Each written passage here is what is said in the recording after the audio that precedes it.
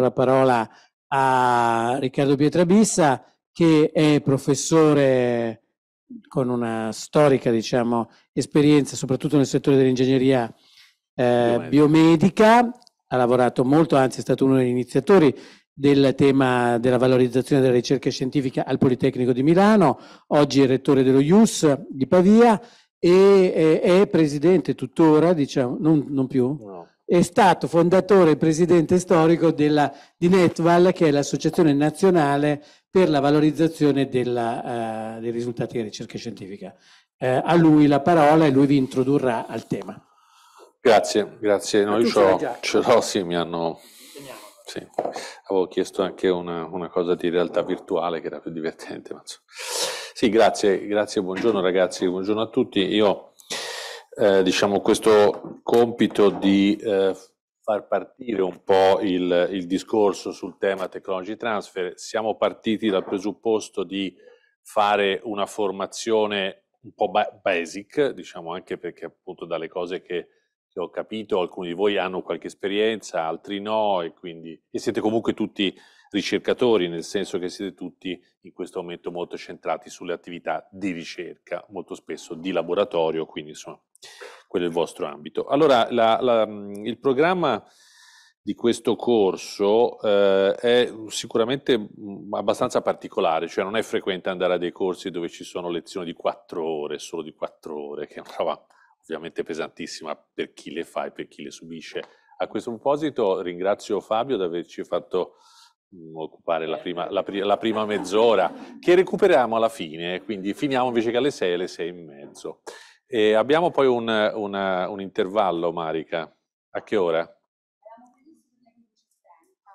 16, va bene. No, perché sennò poi dopo uno muore. 16, va bene. Eh, Dicevo, sono, sono quindi eh, tre, tre, giorni di poche lezioni. Eh, questo credo che sia un, un, aspetto interessante che potrebbe consentire, laddove capitasse, anche di discutere un po' su alcuni temi, no? perché poi alla fine questo è uno degli aspetti importanti.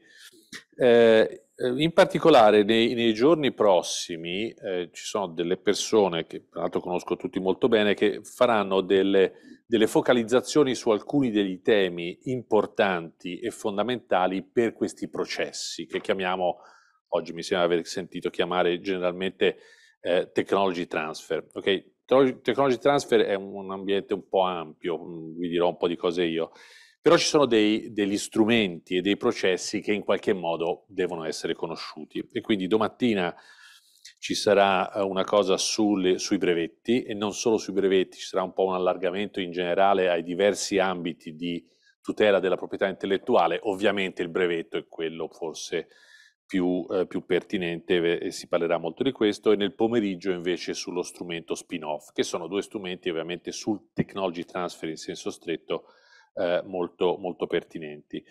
Così come me, eh, mercoledì, anche le due cose di mercoledì sono interessanti per motivi diversi, perché la mattina ci sarà una lezione su come diciamo, definire le relazioni per trasferire brevetti, no? perché uno pensa sempre, ho questa roba qui, la vendo, ecco, non funziona così purtroppo. Eh? Quindi gli ambiti di contrattualizzazione del, delle invenzioni, lasciatemi dire, eh, piuttosto che di cessione eh, in affitto, piuttosto che sono, sono, hanno una certa complessità, non solo nel definire come, ma anche nel definire quanto, per esempio, no? quanto vale una invenzione. No?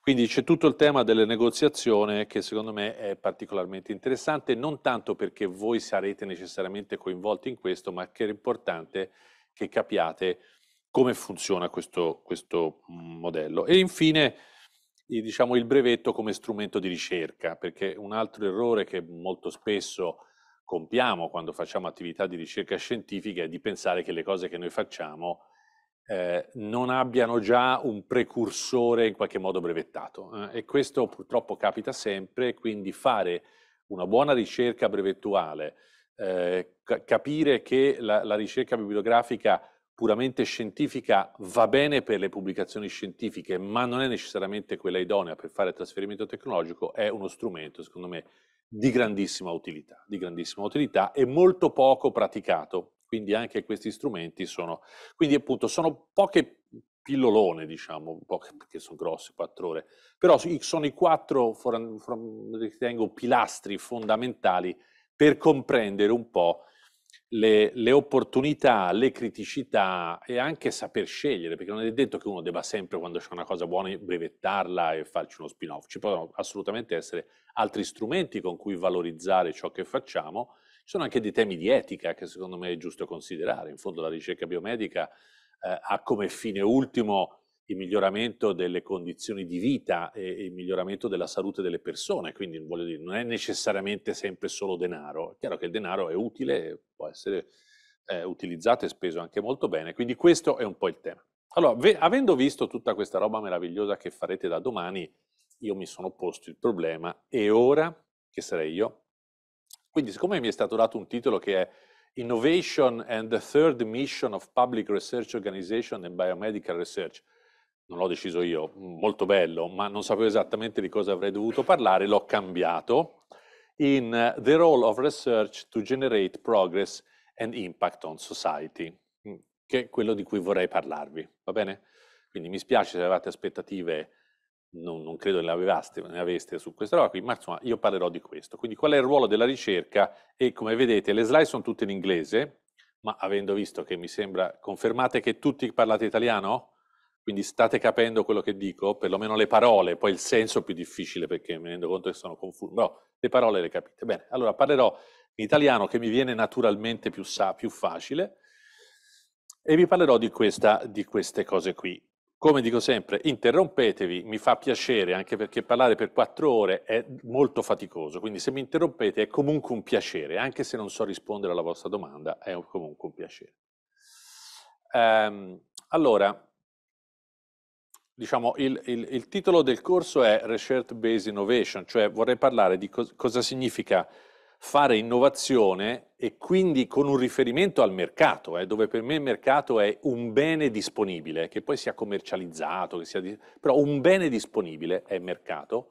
Cosa vuol dire fare innovazione partendo dall'attività di ricerca? Perché non è tutto così, c'è molta innovazione che non parte dall'attività di ricerca. Eh le scarpe coi buchi della Geox è un'innovazione che non è partita dalla ricerca. Quindi esistono diversi ambiti per fare innovazione, noi cerchiamo di farlo o di capire come si può fare partendo da attività di ricerca, tra virgolette, scientifica. Eh?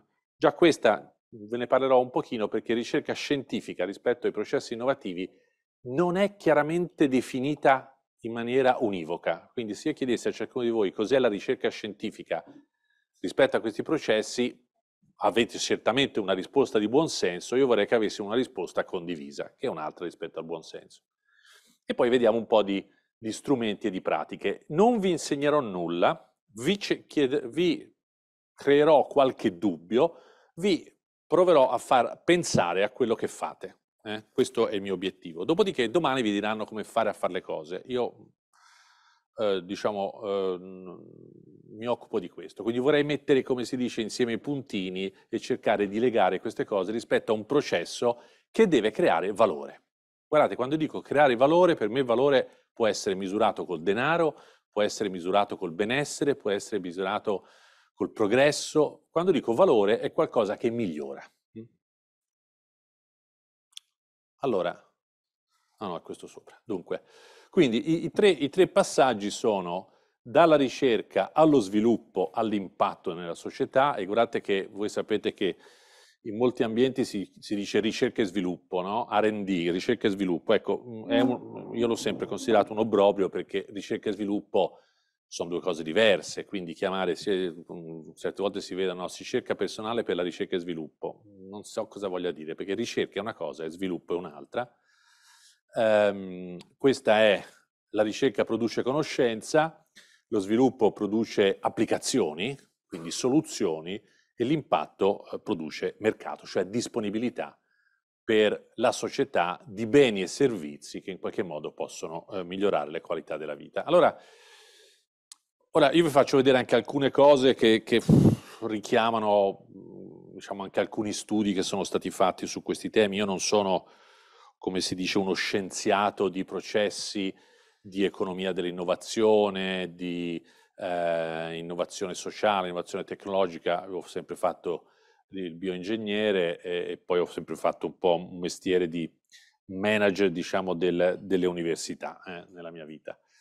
Eh, però chiaramente occupandomi di queste cose mi sono imbattuto in alcune ricerche, alcuni studi e quindi ogni tanto vi parlerò anche di questo. Questo è una rappresentazione che porto perché poi rimane nella testa e quindi può essere utile, una rappresentazione eh, per quadranti di quali sono le possibili ipotesi di, eh, del ricercatore e dell'innovazione, facendo diciamo, una, una rappresentazione in cui in Ascisse abbiamo il livello di innovazione di un'attività che ovviamente aumenta eh, rispetto alla, alla, alla, novità prodotta da eh, nuov- innovazione basata su prodotti o servizi, mentre questo è la ricerca scientifica il cui livello eh, varia con la quantità di nuova conoscenza, cioè cose che prima non erano note e poi sono note, anche se la loro conoscenza non produce necessariamente alcun prodotto.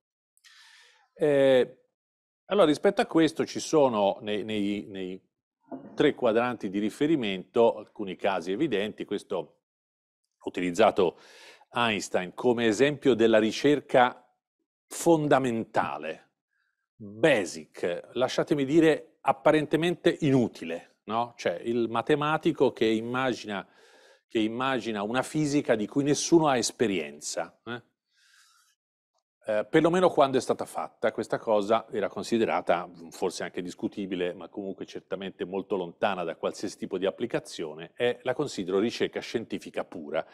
La cosa è interessante perché, perché Einstein, eh, di fatto, come probabilmente molti di voi sanno, eh, iniziò a lavorare in un ufficio brevetti, no? Eh, quindi lui faceva il ricercatore puro, ma sapeva tutto dei brevetti, tanto che questo qui è un brevetto di, di Albert Einstein eh, del 1926, quindi aveva già vinto il premio Nobel, fra l'altro, che è un brevetto eh, che eh, descrive un'invenzione legata a un frigorifero, mm, quindi una macchina frigorifera con un ciclo, chiaramente parliamo di termodinamica, quindi è, è fisica, e, e, come vedete lui, insieme, insieme, a Leo Szilard, che era un altro fisico suo, suo coetaneo e collega, che avevano già venduto assegnato a Electrolux, cioè a loro questa roba non interessava ovviamente perché è roba molto pratica, quindi lo scienziato puro ama fare la ricerca, ama capire, non è interessato alle applicazioni. Questo è proprio il caso strano che lui sapeva tutto di brevetti e quindi scrisse questo brevetto e dice non mi interessa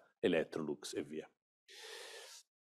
Questo invece è, è, il caso opposto, Edison. Edison, come immagino sappiate, eh, è stato probabilmente il più grande, il più prolifico eh, inventore della storia. Eh, ha depositato oltre 1400 brevetti nella sua storia, ha inventato tutto quello che gli veniva in mente potesse essere utile, fra cui alcune cose anche, diciamo, complicate perché eh, la lampadina, che oltretutto oggi è il simbolo dell'idea, no? l'innovazione è la lampadina.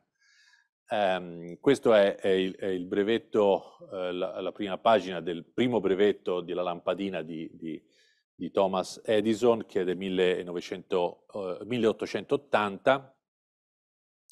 E qui c'era un, un'idea interessante, fra l'altro lui è, è, il primo che ha sostanzialmente inventato le fibre di carbonio, perché faceva le lampadine con un filo di, eh, di, di, di seta, cioè di, quello che ci aveva, chiaramente duravano pochissimo perché si bruciavano subito finché poi riuscì a fare il filo di tungsteno, però poi fece il filo di carbonio, cioè continuava a migliorare questa roba e, e comunque Edison, eh, General Electric è la sua società che negli anni è, è cresciuta, quindi non solo aveva, era un inventore, è stato uno start-uparo di grande, di grande successo lui non aveva basi di conoscenza scientifica, era uno che era in grado di risolvere problemi pratici.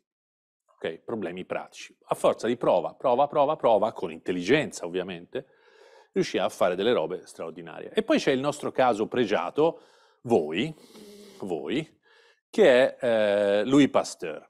Louis Pasteur, chimico sostanzialmente eh, e un po' biologo, era professore eh, in Francia, accademico di Francia, eh, lui eh, scoprì casualmente ma scoprì causalmente perché faceva quello, che delle reazioni chimiche potevano essere modificate rispetto alle previsioni dalla presenza di alcuni microorganismi. Per cui dice, guarda che strano, metto lì due, due, due piastre di Petri con sopra delle robe, in una, una è sporca e quell'altra è pulita, quella sporca ha delle reazioni diverse, produce cose diverse. Quindi cominciò a studiare questo, vide il ruolo dei batteri, che all'epoca di fatto non erano, non erano studiati né conosciuti, e eh, diciamo, si sviluppò, grazie a lui, la, quella che oggi si chiama microbiologia. Eh, quindi lui è considerato il, il, fondatore della microbiologia, però la cosa interessante perché vi racconto questo è perché lui non, non, si, non fu soddisfatto dall'aver capito che esistevano dei microorganismi vitali, viventi, che erano in grado di modificare o di innescare reazioni chimiche altrimenti non esistenti, ma cercò di capire a cosa potesse servire questa conoscenza. E l'applicazione che gli venne era quella della conservazione degli alimenti. All'epoca c'erano le navi che partivano e viaggiavano per mesi e c'era un problema di come conservare gli alimenti, mangiavano la carne secca, eccetera, eccetera, il vino andava male dopo su e lui inventò eh, e brevettò una serie di macchine, di cui questo è un brevetto di, eh, di Pasteur, non mi va. Um, neanche lì? E eh, eccolo, sì, torna indietro. Questo è un brevetto di Pasteur del 1873 eh, sulla, sulla pastorizzazione della birra. Quindi riuscì a trovare un modo per conservare gli alimenti eliminando i fattori che potevano produrre naturalmente e diventò molto ricco, fra l'altro, eh? Pasteur. Oggi noi questa la chiamiamo pastorizzazione perché lui era Pasteur, lui non la chiamava pastorizzazione perché insomma, era, lui, era lui stesso. Insomma. Ecco, questi sono, sono, i tre casi. Eh, ci piacciono tutti e tre, perché ci piace sia l'inventore geniale che ha le idee straordinarie, ci piace lo scienziato che fa lo scienziato e ci piace questo. Però su questo noi possiamo eh, eh, investire, nel senso che ci fa piacere l'idea di finanziare o di sostenere della ricerca il cui ricercatore abbia anche curiosità di capire le possibili applicazioni della sua ricerca. Eh? Perché in fondo no, non, non, è un ambito esclusivo, ribadisco, ci piace anche lo scienziato puro eh? e ci piace anche l'inventore puro. Però su questo probabilmente riusciamo a essere un pochino più incisivi. Per questo dico, questo è il vostro caso. Voi siete il nostro Pasteur di turno.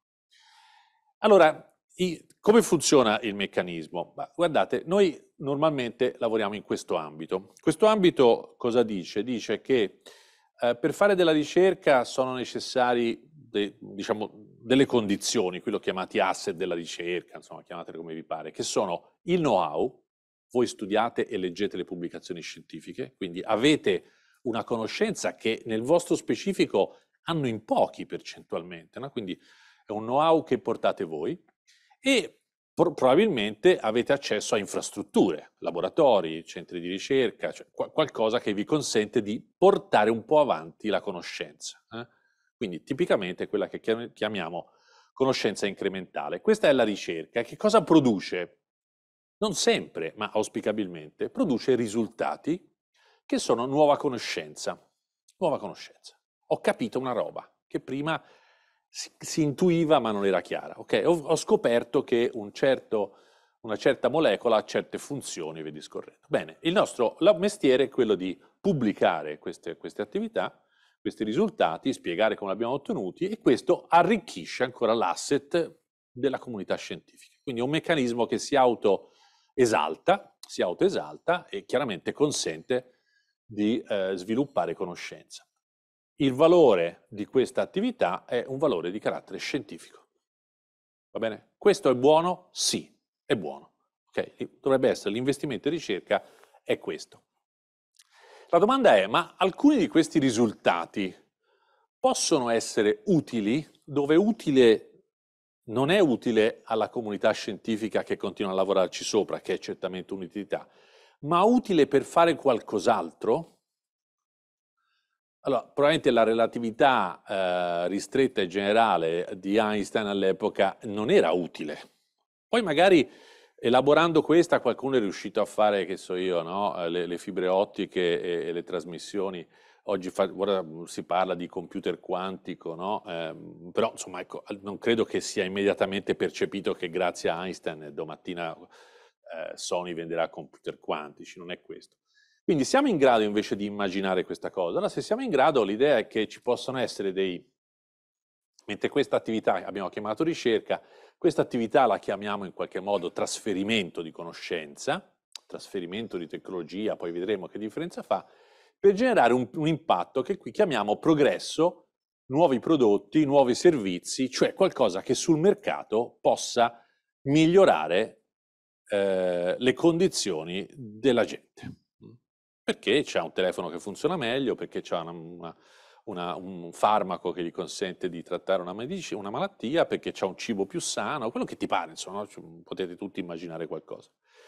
Ecco, questo processo qui l'abbiamo chiamato innovazione, che quindi non ha a che fare con la ricerca, ha a che fare con l'uso dei risultati della ricerca. Guardate, non è la stessa cosa. Eh? Un conto è la ricerca, un conto è l'uso dei risultati della ricerca e che questo ha un, un, un, nuovo valore, un altro valore, che è un valore che possiamo misurare in termini economici, sociali, industriali, quello che vi pare. Ci sono comunque altri valori non scientifico. Questo introduce un concetto di cui non parlerò oggi, e cioè che non ha senso mettere in confronto eh, le pubblicazioni, per esempio, con i brevetti. Qualcuno dice, ah, ma i brevetti possono essere utili per fare carriera. Non c'entra nulla. Questa è attività scientifica, io misuro la capacità di fare ricerca e di fare, diciamo, accademia. Qui misuro la capacità di trasferire questa cosa. È una cosa importantissima, ma è un'altra cosa. Ok? È un'altra cosa. Allora, normalmente quando qui vedete eh, RO sta per Research Organization, eh? quindi Research Organization è un'università, un ente di ricerca, Human Tech, Research Organization. E qui pub sta per pubblici. Eh, allora, ne, nei centri di ricerca pubblici, che siano università o altri enti, è sempre stato old che si cercava al 100% di fare ricerca scientifica e ottenere pubblicazioni scientifiche. Fino a, guardate, vent'anni fa, eh, l'esigenza che uscissero ricadute di innovazione da questo era zero, il commitment, il commitment delle governance era zero. Okay? Io ricordo, nel, credo l'ho cercato da giorno, mi sembra fosse nel 2003, andai a fare una conferenza alla Società Italiana di Fisica, eh, perché invitato dal presidente, sui temi brevettare all'università e fui attaccato da tutti dicendo ma, ma siete matti, perché dovete brevettare la ricerca scientifica? Quindi è zero, zero. Oggi non è più così, Oggi si dice tu devi fare sempre ricerca scientifica, questo è il, è il commitment, 100%. Cioè non fai queste cose per altro, lo fai per ricerca scientifica, ma attenzione che qui deve esserci un x maggiore di 0. E questo, vedremo dopo, no, non dipende necessariamente dalla ricerca che fai, ma dalla tua capacità di valutare i tuoi risultati. Quindi di nuovo, lasciamo indipendente la ricerca, però quando c'è un risultato cerchiamo di capire se quel risultato può essere utile o no. Quindi voi siete quelli che dovete, eh, diciamo, ipotizziamo, fate ricerca scientifica di qualità, ma vorreste capire se ciò che fate può essere utile e se è utile può essere trasferito, in che condizioni, con che vantaggio, con che obiettivo. Nei, nei, nei research organization privati normalmente è così, il privato finanzia perché vuole quella che chiamano ricerca, no? ricerca del centro di ricerche Fiat, la ricerca del centro di ricerche Bracco, cioè non è che vuol capire il mondo, vuol portare a casa innovazione, quindi questo è il 100%, l'obiettivo è quello. Dopodiché, ben venga che ci siano anche pubblicazioni scientifiche, questo dà quella che noi chiamiamo reputation, no? Però non è l'obiettivo. Quindi attenzione, gli obiettivi sono diversi. Allora, ora io vi eh, racconterò alcune cose di queste parole, che sono parole che tutti noi usiamo e conosciamo, ma vorrei contestualizzarle, che sono ricerca, innovazione, conoscenza, impatto, valorizzazione, mercato, denaro, bla bla bla bla. Vabbè, sono messe un po' lì a caso, ma ora ve le racconto. Allora, comincio con ricerca, innovazione, conoscenza e denaro. Ricerca, innovazione, conoscenza e denaro.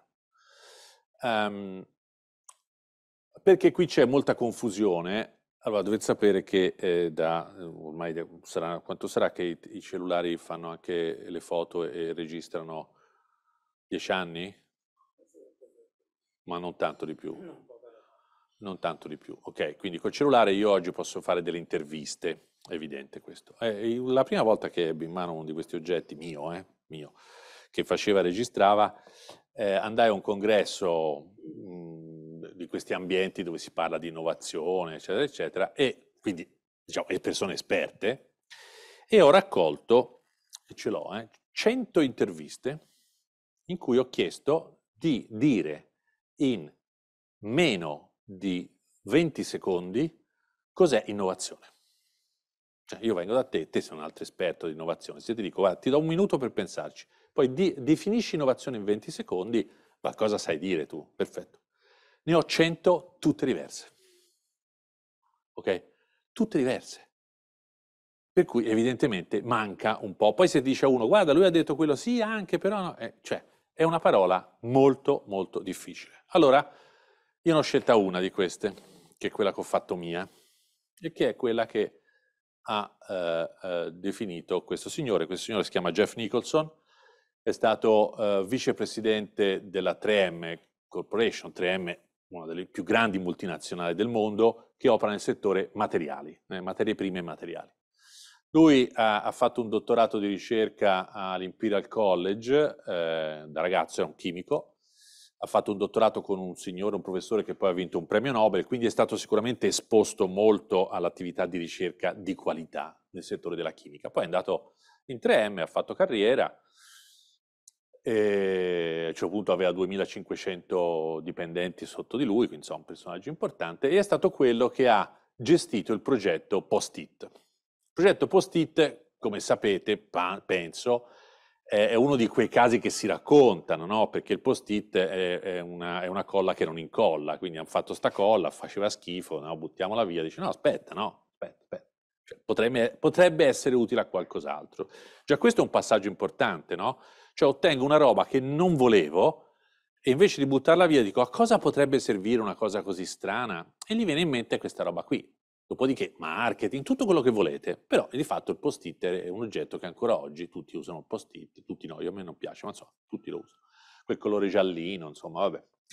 Allora, questo signore ehm, ha fatto una conferenza all'Imperial College nel 2007, se non sbaglio, in occasione dei cent'anni del Dipartimento di Chimica, l'hanno invitato e lui ha fatto una conferenza che si chiama, eh, 2007, il cui titolo era eh, Innovation e Survival Issue. E la, la trovate su YouTube, eh, eh, lui proprio all'inizio dice ragazzi io sono stato qui eh, dottorando come voi, ho fatto dottorato in chimica, poi lavoro sempre in una multinazionale, eh. dice una cosa ho capito e che dovete imparare anche voi, che è questa. La ricerca è la trasformazione di denaro in conoscenza e l'innovazione è la trasformazione di conoscenza in denaro. Cioè l'idea che sta dietro questa roba qui è che non esiste un mondo povero in cui si fa, innova- si fa ricerca di qualità e non esiste un mondo ignorante in cui si fa invece eh, in- innovazione. Cioè l'innovazione si basa sulla capacità di fare ricerca. La capacità di fare ricerca si basa sulla possibilità di avere denaro per fare ricerca. Okay? Altrimenti fai l'inventore. Benissimo, esiste quella, ma non è quella che possiamo finanziare.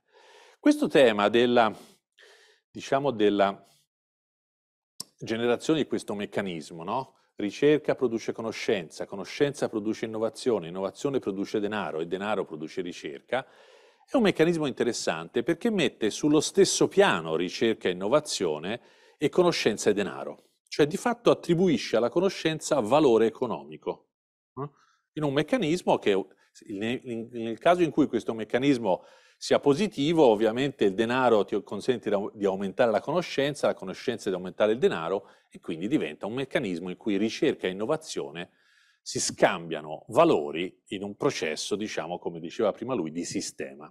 Di sistema no? Quello che alcuni dicono, sentirete quando sentite parlare gli economisti dell'innovazione, dicono ecosistema dell'innovazione. Ecco, questa qui è la sintesi poi dell'ecosistema dell'innovazione, cioè un meccanismo di stimolo eh, continuo. Questa cosa, che credo abbiate capito perché non è difficilissima, no? È abbastanza chiara. È una cosa che peraltro invece trova sempre abbastanza ostacolo e credo che sia importante cominciare a dialogare con le parti. Ve lo dico perché questa cosa qui io l'avevo raccontata, qui racconto un aneddoto personale a un convegno come avevano invitato, io terminai, devo parlare di, di, di spin-off, eh, terminai il convegno, eh, cioè la, la, mia relazione era subito prima del coffee break. E termino, vado al coffee break, al coffee break eh, ero in coda per il mio caffè, mi, mi, mi ferma un signore, dice ciao Pietro Bissa, guarda sono collega, era un professore universitario, non conoscevo, ciao, mi presento, fla fla. Dice, guarda, mi è piaciuta tantissimo questa, questa relazione che hai fatto su questo tema. Dice, mi, mi è piaciuto molto questo sistema di innovazione, ricerca. Dice, però non me lo sono appuntato. Eh, me, lo, me lo ridici un attimo perché non me lo ricordo precisamente. E volentieri dico, ma te cosa ti ricordi? E lui si ricordava questo, la ricerca produce conoscenza, l'innovazione usa conoscenza. Cioè l'unica cosa importante è la conoscenza, eh? quindi noi, senza di noi loro non fanno niente. Noi ho detto no, guarda, è che eh, ricerca è trasformazione di denaro in conoscenza e, e, e innovazione. Ah, vai, me lo segna. Poi va, mi rimetto in coda, mi fermo un altro, dice guarda io sono un imprenditore qui del territorio, mi è piaciuto molto, mi, mi, mi volevo segnare esattamente la stessa cosa. Dico, ma eh, va bene, ma lei cosa si ricorda? E lui si ricordava la ricerca consuma denaro, l'innovazione produce denaro. Ok? Allora, sono tutte e due vere, ma ognuno vede sempre solamente, guarda, senza di me non fai nulla, senza di me non fai nulla. Ecco, questo è uno dei nostri problemi, problema di sistema. Eh? L'imprenditore dice, scusami, io caccio i denari e voglio indietro, cioè il resto non fatti tuoi. Per esempio, è difficilissimo far pagare la conoscenza che uno ha già. Dico, guarda che io sono uno che sa un sacco di cose, cioè tu solamente avere accesso al mio laboratorio è un valore. Noi dobbiamo creare il valore, percepire il valore, poi te lo posso anche regalare, ma non perché non vale, perché ho deciso che lo faccio pro bono. Invece la pre- presunzione è che tanto tu eh, ti, ti, paga lo Stato, no? Parlo, parlo. Vabbè, quindi questo è un punto importante. Ricerca, innovazione, conoscenza e denaro. È chiaro? Proceed. Impatto, valorizzazione, mercato, technology transfer, progresso, prodotto. Questo è un po' più complicato, ma è più semplice, lo vedete, è una, una sciocchezza. Allora, il presupposto qual è? Il presupposto è che noi abbiamo questi due elementi, la ricerca e il progresso. Ricerca non l'ho ancora definita, lo farò fra poco. Progresso lo definisco come qualcosa che migliora le condizioni di vita, qualunque esse siano. Eh? anche il gioco piacevole, eh, qualsiasi cosa, le vacanze, insomma, ecco. Progresso. Allora, il tema è che noi abbiamo ritenuto e riteniamo che la ricerca migliori le qualità della vita e quindi sia uno dei fattori importanti per il progresso. Eh, diamo questo assunto, diamo questo assunto. E guardate che laddove il progresso si misura in denaro, cosa che possiamo discutere e anche dissentire, ma molto spesso il progresso si misura in, denaro, per cui sono, i paesi più progrediti sono quelli che hanno il PIL più alto e quelli in via di sviluppo no, eh, laddove c'è più denaro c'è più ricerca. Quindi ci sono degli elementi anche diciamo, su cui si può discutere che la ricerca e riconoscere che la ricerca eh, migliora il progresso. La domanda è, ma il progresso se ne rende conto che è la ricerca e quindi in qualche modo eh, restituisce denaro? No? Cioè, qui non c'è conoscenza e denaro, ma avete capito che in qualche modo c'è. Ecco, questa linea è tratteggiata perché non è così evidente, ok? Non è così evidente che ciò che noi oggi apprezziamo nella nostra vita quotidiana può essere stato originato da ricerca scientifica. E quindi molti dicono, ma perché devo pagare la ricerca? io ho bisogno del cellulare, ho capito, ma il cellulare l'avresti senza... Ecco, non è così facile, diciamo, descrivere, documentare e anche quantificare questi processi. Allora, normalmente sono richiesti altri due passaggi, che sono questa che abbiamo chiamato innovazione, cioè prendere non la ricerca, ma i risultati della ricerca, quelli che possono essere trasferiti, fare dell'innovazione, quindi generare sviluppo e prodotto e avere un mercato di riferimento su cui erogarli alla, alla società. Quindi il passaggio a questo punto diciamo che è questo, va bene? Ricerca, innovazione, mercato, progresso. E che abbiamo due strumenti. Uno è il knowledge transfer.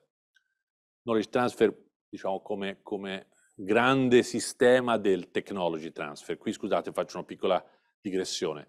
Con technology transfer normalmente si intende il trasferimento di, qualcuno, di qualcosa che è di sua natura tecnologico, quindi che è passibile di un processo industriale di fabbricazione.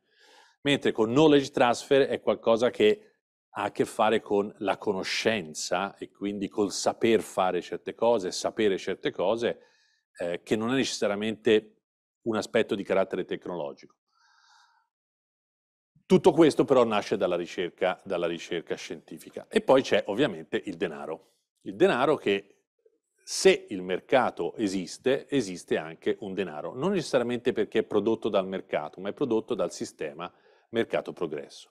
Allora, in questa cosa noi abbiamo, i, i, i, tre, i tre passaggi sono comprendere, quindi fare ricerca per aumentare la conoscenza. E qui la conoscenza è la conoscenza della natura, e, e, quindi dei fenomeni naturali nei vari ambiti, fisica, biologia, chimica, quello che vi pare, e eh, la conoscenza dell'uomo, dell'uomo nel senso eh, de, dell'essere umano eh, come soggetto sociale, non necessariamente come soggetto biologico, l'applicazione di questa conoscenza rispetto a prodotti, servizi e tecnologie e l'impatto, cioè la misura del beneficio che si ottiene, che si ottiene da, questa, da questa attività. Questi qui sono gli strumenti, quindi noi qui dovremo parlare di strumenti. Okay? Technology transfer non è un obiettivo, è uno strumento. Il denaro non è uno obiettivo, ma è uno strumento. Eh? Non tutti condividono, ma però vorrei che si pensasse a questo.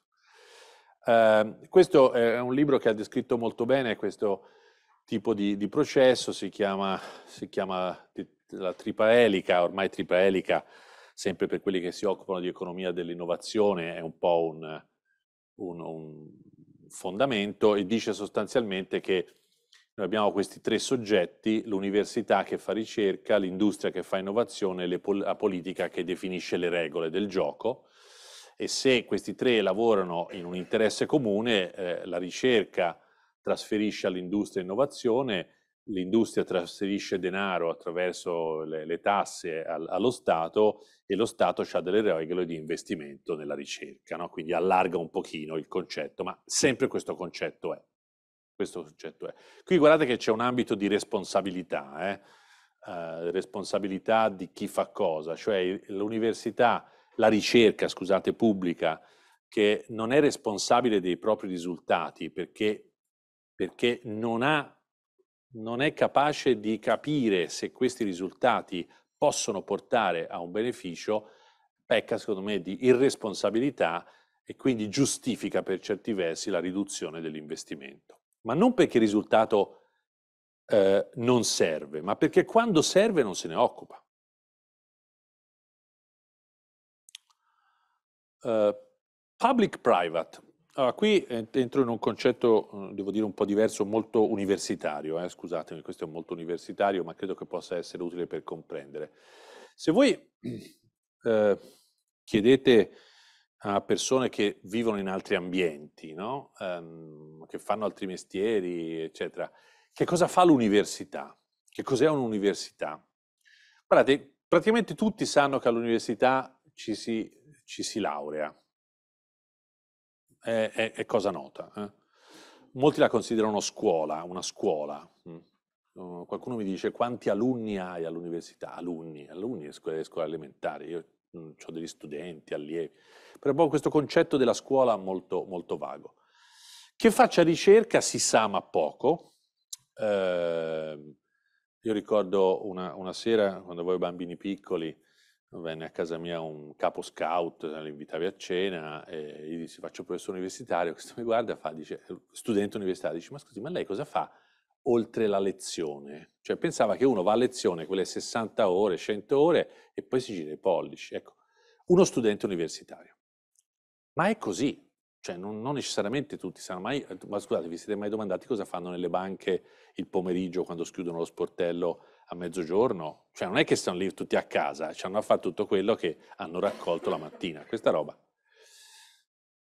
Allora, se noi facciamo queste cose, molto spesso questa roba, anzi, è fatta, eh, perché la maggioranza delle, delle università in Italia sono, sono, statali, quindi siamo finanziati dallo Stato. Non mi interessa tanto poco, ok? Questa è l'idea, cioè uno Stato sovrano finanzia un sistema di formazione superiore e di ricerca universitaria. Bene. Dopodiché ci possiamo domandare perché la società dice benissimo, la società sono le istituzioni, i territori, le famiglie, l'industria, dice benissimo, ma questa, questa attività che cosa produce nel paese? Cioè qual è il valore che viene estratto da questa attività? Siamo in grado di quantificare qual è il valore che deriva dall'esistenza di noi e delle attività che facciamo in aula, in laboratorio, andando ai congressi, perché poi alla fine è lo Stato che paga e lo Stato sono, sono le tasse dei nostri concittadini, no? Ora lo Stato si chiama nazione, scusate, da, da un po' di tempo si chiama nazione. E, e allora, io ricordo... Eh, Dunque sapete che ora si ritorna a parlare di flat tax. La flat tax è una cosa che dice, benissimo, si pagano delle tasse tutti uguali, costanti, eccetera. Va bene. Supponiamo, questa cosa già nel 2018 era uscita eh, nel, in tempo elettorale e eh, l'idea all'epoca eh, era di dire che le tasse erano uguali per tutti e si discuteva se era 15 o 20%, ti ricorderai, 15 o 20%. Ora, devo dire, io personalmente ci guadagno sia sul 15 che sul 20%. Tu anche ci guadagni. Quindi non posso dire che sono contrario personalmente. Mi mettessero le tasse al 15%, io cioè, divento ricco, va bene? Eh, per cui non è questo il punto. Il punto è un altro. Io andai a un congresso e, e facevo il chairman quel giorno, no? c'era un po' di gente, tutti industriali, era in Zambon tutti industriali, mi facevano fare un po' di interviste, io chiedo alla, a, ai presenti, dico, sentite, c'è in discussione questa cosa della flat tax, supponiamo 20%, diciamo 20%. Allora io vorrei proporre due ipotesi, una invece che 20 fare 21 e destinare quell'1% alla ricerca del paese, oppure fare 19 e togliere quell'1% dai finanziamenti alla ricerca del paese. Voi cosa pensereste? Tutti, ah, 21, 21, ci guadagnano tutti, no? Cioè, tutta gente paga il 43%. Se voi, secondo voi se facessi invece un, eh, un, sondaggio nazionale a tutti, sarebbe, quale sarebbe la, la, risposta? Tutti mi dicono 19. Okay? Allora, questo secondo me è un problema importante, perché non è colpa mia o colpa loro, è che non hanno capito a cosa serve la ricerca scientifica e quindi preferiscono risparmiare l'1% di tasse che dare soldi a chi fa ricerca scientifica.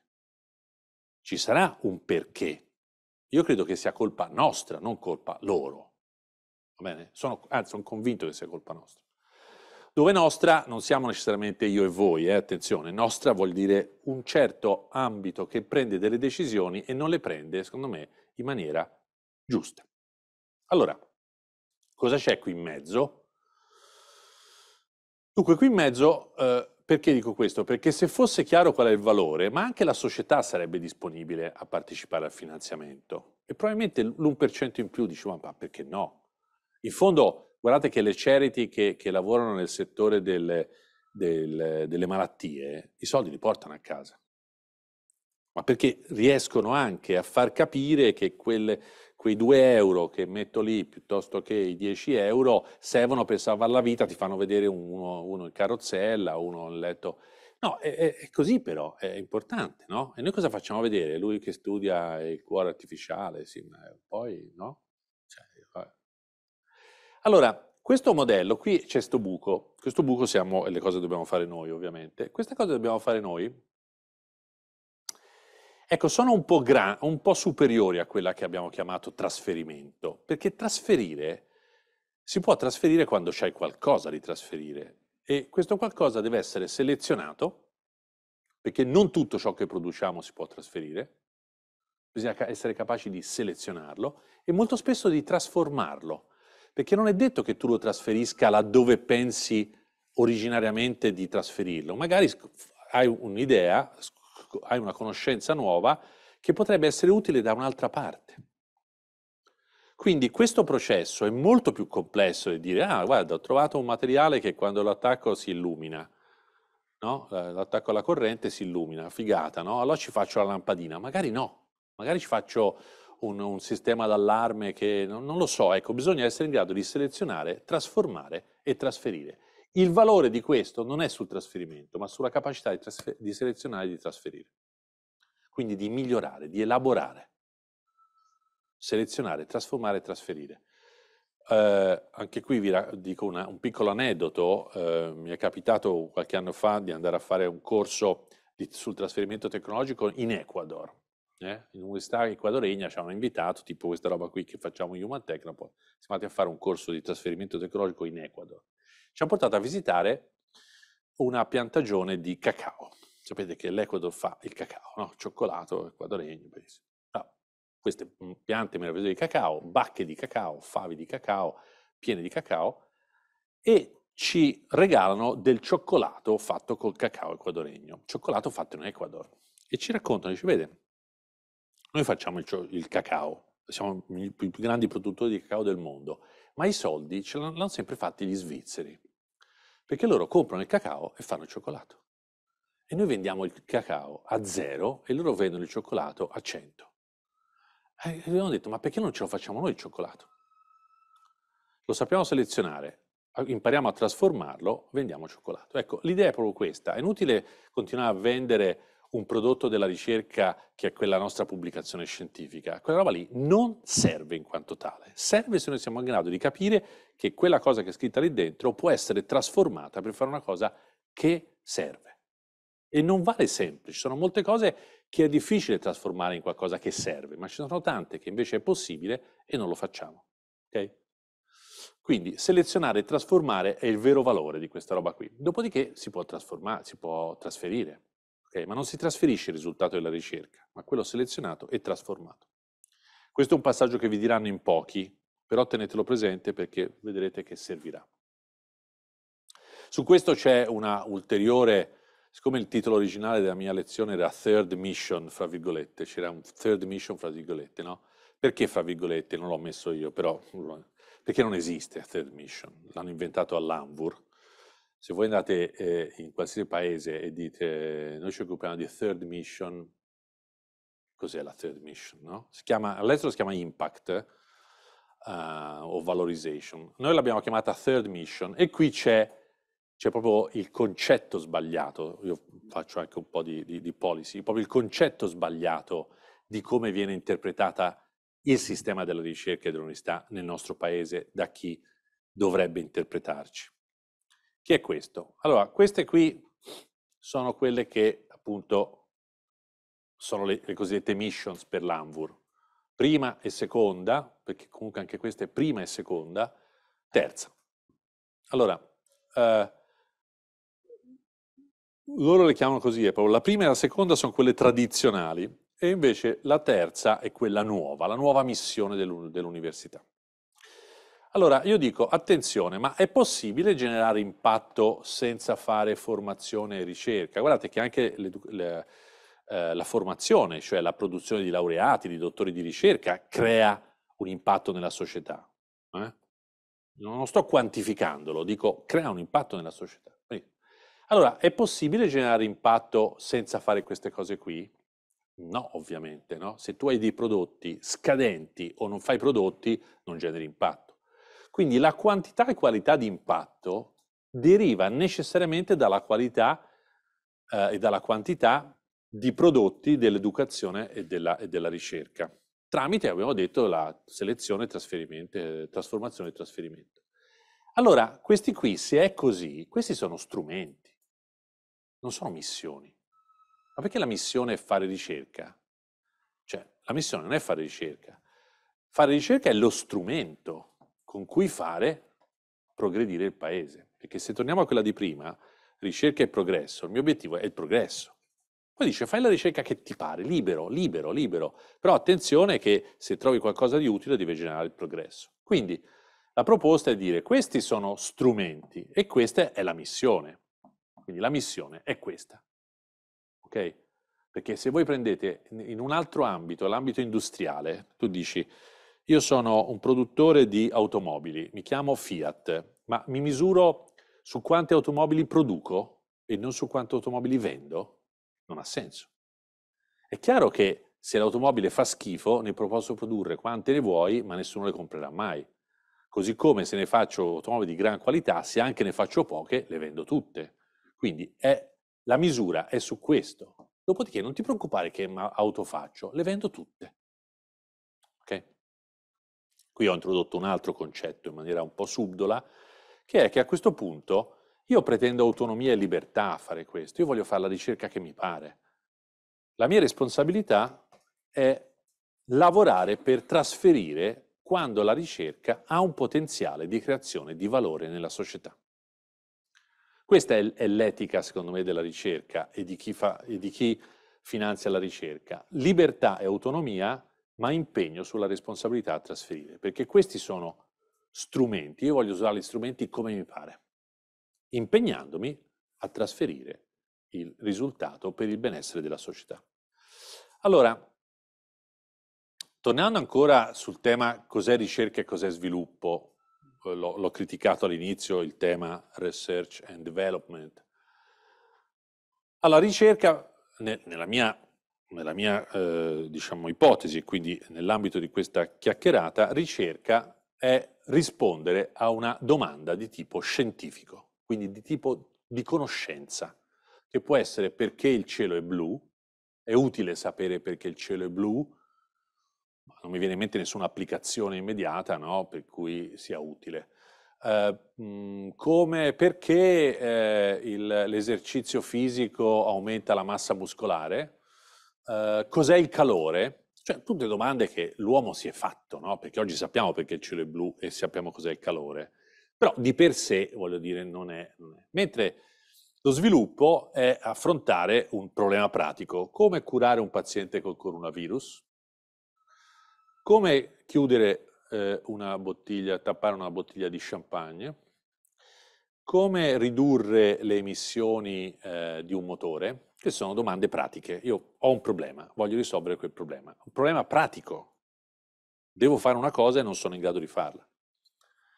Allora, qual è quindi la differenza? La differenza sta nel tipo di domanda e nel metodo che si usa per trovare la risposta. Perché eh, questa produce conoscenza e in qualche modo diciamo, l'ambito finale è la dimensione del, della scienza nella sua interezza e globalità. Produce conoscenza. Quest'altra invece produce soluzioni. Okay? Produce soluzioni. Quindi devo avere un problema. E determina quella che chiamiamo esperienza. Non è necessario essere scienziati per produrre soluzioni, eh? non è necessario essere scienziati. Uh, un ingegnere che, che costruisce un oggetto che funziona non è uno scienziato, magari non produce nessuna conoscenza, produce però una soluzione che rientra nell'esperienza, nel sapere come si fanno le cose. Eh, questi due mondi, che sono così come l'ho rappresentati fra loro divisi, divisi, possono però avere dei punti di contatto interessanti, e cioè quando affronto un problema pratico, può darsi che non abbia sufficiente conoscenza per risolverlo. E quindi può darsi che io debba basarmi sull'esperienza, ma anche, scusate, ma anche fare riferimento alla conoscenza scientifica. In molti settori, in molti settori il progresso nella soluzione di un problema richiede nuova conoscenza scientifica. Okay? Richiede nuova conoscenza scientifica. E questa nuova conoscenza scientifica può essere stata creata indipendentemente, per cui dice guarda che lui ha pubblicato un articolo, abbiamo scoperto che le celle eh, fotovoltaiche no, fatte invece che col silicio, fatte con eh, coso, hanno un'efficienza superiore, l'ha fatto uno scienziato, io che produco cose, risolvo il problema di aumentare l'efficienza delle mie celle fotovoltaiche. E può essere invece sviluppata ad hoc, dico, devo migliorare, no? E ho un mio centro di ricerca, quello che dicevo prima, il, il Private Research Organization, che invece fa ricerca per trovare una soluzione che migliora, migliora la qualità di un prodotto rispetto a un problema pratico. Quindi la, questa attività può essere, ribadisco, richiesta e può essere spontanea. In ogni caso, laddove la scienza eh, rientra in un ambito di, di esperienza e produce nuove soluzioni, evidentemente questo passaggio è il passaggio che abbiamo detto aumenta il pregio, il valore della nostra attività di ricerca. C'è un ulteriore aspetto eh, interessante che, che differenzia la ricerca scientifica dalla ricerca per trovare una soluzione, di cui poi tornerò brevemente dopo con un altro aneddoto, che è questo. Eh, normalmente la nuova conoscenza indipendente, che nasce in maniera indipendente dal problema che va risolto, okay? perché possono esisterci, possono esistere sicuramente delle ricerche che, scop- che capiscono delle cose che non sono state cercate per risolvere un problema. Ecco, in questo caso è possibile che tu possa trovare più ambiti di applicazione e che per ciascun ambito di applicazione tu possa trovare prodotti, quindi c'è una, una potenzialità di diversificazione straordinaria. Ma immaginate quando abbiamo, siamo riusciti a, a, mettere a punto una lega che si chiama acciaio inossidabile, cioè prima il ferro si ossidava, l'acciaio inossidabile. Cioè, ti viene in mente una quantità enorme di prodotti che possono essere fatti con l'acciaio inossidabile. Se uno avesse il brevetto dell'acciaio inossidabile non sarei qui a farvi lezione, ecco, eh, no? Um, mentre se te invece se te trovi come fare la, la, forma di questo cellulare, hai fatto la forma di questo cellulare, le scarpe con i buchi sotto i piedi, Geox ha fatto le scarpe, non è che puoi farci poi chi, chissà che, non è che ci faccio le pentole a pressione piuttosto che le gomme delle automobili, insomma no, fatto quella roba lì. Sono delle invenzioni che rimangono in quanto tali, mentre queste, le scoperte scientifiche, possono avere ricadute in tanti ambiti, quindi hanno un valore potenziale straordinario. Bisogna pensarci però. Bisogna pensarci.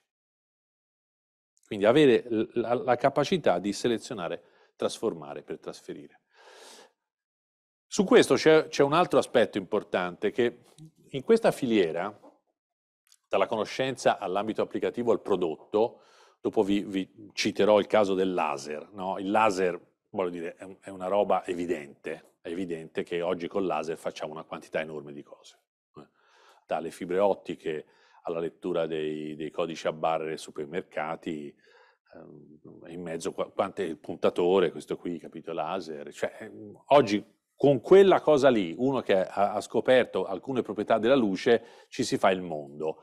Ma non è così scontato, perché quando quello lì ha scoperto le proprietà della luce, non è che aveva in mente i codici a barre dei supermercati, proprio non, sapeva neanche, non esisteva neanche i supermercati probabilmente. Quindi gli ambiti applicativi ci vuole comunque sia una certa diciamo, fantasia. Una... Allora, quella scoperta, in quanto tale, è talmente prematura che è difficile darle un valore. Quanto può valere il laser inventato negli anni 60? Non c'era nessuna applicazione possibile con quella roba lì. Va bene? È chiaro? Oggi, senza il laser, tante cose non le riusciamo neanche a fare. Allora, quando tu sei qua, eh, c'è un tema di eh, ritorno degli investimenti legato al time to market, cioè quanto io penso che possa valere questo mio investimento in questa ricerca rispetto a quando riuscirò ad avere un ritorno sul mercato. Perché se ho davanti 50 anni, capite che non ci investe nessuno? Nessuno. Allora, man mano che tu sei, più sei qui, più sei lontano dal ritorno degli investimenti e il time to market può essere lungo. Non è sempre così, eh? in alcuni settori è più, è più breve, in alcuni settori è più lungo, però mediamente a parità di settore questo è il punto più lontano. E se tu vuoi provare a trasferire questa roba, 90 su 100 non ce la fai. Devi andare un pochino qui per cominciare a, tras- a capire. Perché questo ovviamente aumenta l'investimento in termini di denaro necessario, il rischio per chi lo assume, e il potenziale valore, potenziale perché tu dici compro proprio il seme, compro il grano, col grano ci faccio dalla torta paradiso alla focaccia, al pane, a, no? Però devo sapere che ci posso fare sta roba, perché se no cosa me ne faccio del grano? Ok? Quindi attenzione che a noi piace molto questa cosa qui che abbiamo capito. Guarda, poi avevo scoperto che questo farmaco... Il... Però attenzione, siamo in grado di sapere che questo signore è in grado di farci un prodotto, che, che... quant'è il rischio, quant'è il tempo. Ecco, la nostra valutazione spesso è più passionale che concreta. Dobbiamo fare molta attenzione. Company Startup Spin-off Patent.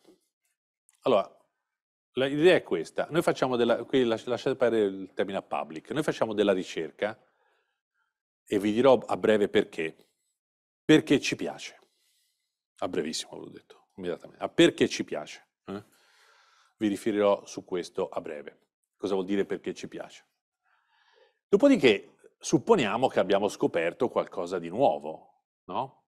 Questo qualcosa di nuovo noi dobbiamo in qualche modo esplicitarlo eventualmente proteggerlo con un brevetto se ne, ne identifichiamo un'applicazione e cercare di eh, acquisire il, il, brevetto. Il brevetto, ne parlerò alla fine del corso, della, della lezione, è sostanzialmente una proprietà. Cioè io ho comprato una cosa. Ho comprato una cosa. Quindi ho una proprietà sulla possibile applicazione di questa scoperta. A questo punto che ci faccio? Ma lo posso licenziare sul mercato, cioè trovare qualcuno che vuole investirci, io glielo licenzio, glielo posso vendere, glielo posso dare per royalties, eccetera. Normalmente è richiesta appunto un'integrazione con, con qualcos'altro, perché il, il, brevetto molto spesso nostro è, è, è modesto, eh, e questo comunque sia ha una ricaduta importante sulla ricerca, perché ho fondi per la ricerca, ho parte, partnership con anche, con anche in, in, diciamo, soggetti industriali che mi possono aiutare per la proof of concept, insomma, tutta una serie di passaggi. Quindi la, la licenza è il punto chiave. Un brevetto che non licenzio non vale niente, ok? Neanche il costo. Uh, oppure mi faccio la mia cosiddetta startup. La startup ha un grosso vantaggio e che io ci porto dentro anche il know-how, perché nella startup ci vado io che sono quello che sa come si fa a fare quella roba no? mentre quando lo veda un altro lo, devo anche insegnarglielo, lì ci vado io. Chiaramente ho bisogno a questo punto di un po' di denaro, un accesso al mercato, vado sul mercato, anche qui diciamo ho un beneficio di altro tipo, ma eh, sulla, sull'attività di ricerca. Ecco, questa cosa qui è il mondo del privato, il mondo di quelli che sono sul mercato, che investono denaro per portare a casa denaro. Cioè, no, dobbiamo sempre pensare che un'impresa industriale o, o altro tipo di impresa è una società di capitali che fa un'azione se e solo se il guadagno è superiore al costo, perché deve essere remunerativa. Okay? E questo è il principio fondante, non è da giudicare, è così. Okay? Se non fai, se non fai eh, utili, questa chiude e quindi eh, questo deve essere. Il tema vero è, ma che tipo di utili fai? Ecco, a noi fa piacere pensare che se parte da della ricerca, da della conoscenza che gli diamo noi, l'utile che ne deriva comunque sia, deriva dal fatto che tu hai fatto eh, un, un benessere alla società, che hai fatto uno sviluppo economico, che hai fatto competitività per le, per le imprese. Cioè, l'idea è che ci sia dietro comunque sia loro devono fare denaro, noi dobbiamo garantirci che quel denaro abbia una finalità che è quella che noi abbiamo messo nella nostra ricerca. Questo è un aspetto su cui non tornerò più, che ha a che fare con l'etica del trasferimento tecnologico, che però è un valore secondo me molto importante, su cui è opportuno riflettere quando si fanno queste cose. Okay? Quindi il brevetto è uno strumento estremamente potente, estremamente potente perché impedisce ad altri di fare qualcosa. E allora quando io do a qualcuno uno strumento che può impedire ad altri, devo garantirmi che lo, che lo faccia per il bene della società. Okay? Altrimenti do uno strumento, come sapete gli strumenti non esistono buoni e cattivi, esiste l'uso buono o cattivo degli strumenti, questo vale anche per i brevetti. Quindi se ho un brevetto e lo cedo, devo cederlo, secondo me, questo è il mio parere, devo cederlo con una finalità che io condivido. Per esempio uno che ha un brevetto e lo tiene nel cassetto perché c'è un altro business impedendo ad altri di utilizzare quell'invenzione, io non credo che sia eticamente corretto. Mi darà anche dei soldi, ma mi darà dei soldi per privare e non per favorire. Chiaro? Quindi attenzione, il brevetto è un bellissimo strumento, va saputo utilizzare. Allora,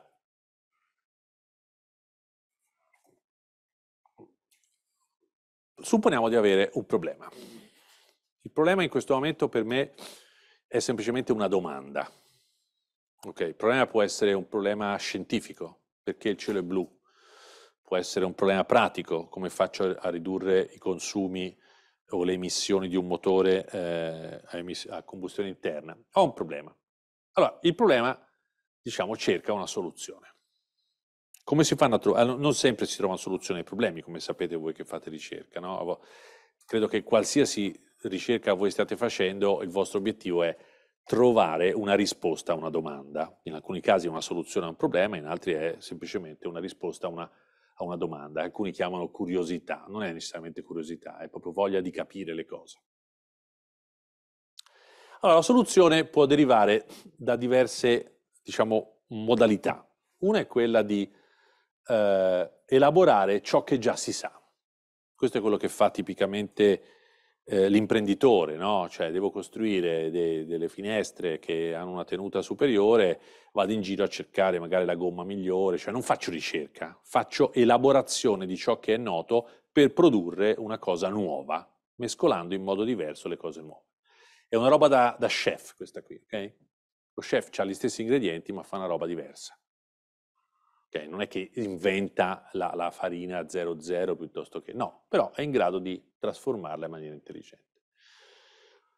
Oppure ci può essere eh, la capacità di utilizzare cose che non si sapevano prima e che si sono eh, sapute da poco facendo ricerca. La ricerca, guardate, possiamo averla fatta noi, può averla fatta qualcun altro, ma noi apparteniamo a quella comunità che è in grado di capire i risultati della ricerca eh, e non magari i risultati di un'altra ricerca.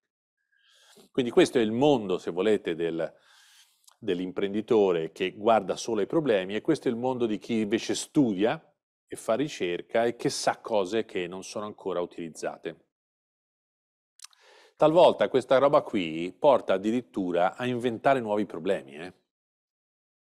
Mentre in quel caso lì è più raro, quello di sopra è abbastanza facile, che io improvvisamente invento una cosa che, di cui nessuno aveva bisogno, semplicemente perché ho scoperto delle cose, dico, ma guarda, con questo si potrebbe fare questo, dice, ma chi se ne frega, ma, però si potrebbe fare, proviamo, si fanno cose nuove, anche su questo vi farò un piccolo esempio. Allora, qui, diciamo che, supponiamo che il problema sia un problema tecnico. Cosa vuol dire un problema tecnico? Un problema che richiede una soluzione tecnica, cioè di messa insieme di cose no? per, per essere risolto. Se il problema è tecnico, la soluzione si chiama invenzione. Ok? Quindi perché uno abbia una invenzione, deve avere una soluzione di un problema. Per questo la ricerca in quanto tale non si può brevettare. Perché la ricerca in quanto tale può essere la soluzione, ma io devo aver identificato il problema, se no la soluzione non la posso brevettare. Questo, su questo torniamo brevemente alla fine, però è, è, un, è un passaggio indispensabile per capire quello che stiamo facendo. Io non posso brevettare una soluzione se non ho definito esattamente qual è il problema. E vi dirò di più, che se io brevetto una soluzione per un problema, la posso ribrevettare identica per un altro problema. Ok? Quindi l'invenzione è sempre la soluzione per un problema. Io devo partire dicendo, questo tavolo cioè, non sta in piedi perché le gambe, cioè, eh, invento una soluzione e ci metto dei paletti diversi. Okay, ma, no, ma devo dire qual è il problema. Il paletto diverso non lo posso brevettare. Questo è, è uno dei, dei, problemi quando vogliamo brevettare i risultati della ricerca, perché in quanto tali non sono brevettabili. Mi devi dire a cosa serve. Poi scopro che serviva anche un'altra cosa e l'ho anche divulgato per quella prima e non per la seconda. Quindi attenzione, warning. Io ho un'invenzione solo se ho un problema tecnico di cui ho trovato la soluzione. Guardate che in alcuni casi la ricerca mi fa inventare il problema di cui quella è la soluzione. Eh? Non lo escludo, Non è che deve esserci per forza a priori il problema tecnico. Io posso trovare una soluzione senza avere il problema e poi invento il problema, di cui quella è la soluzione. Allora ho l'invenzione. Allora, l'invenzione può essere brevettata. Okay? Il brevetto protegge solo le invenzioni, null'altra cosa. Quindi protegge solo le soluzioni ai problemi tecnici. Non potete brevettare altro.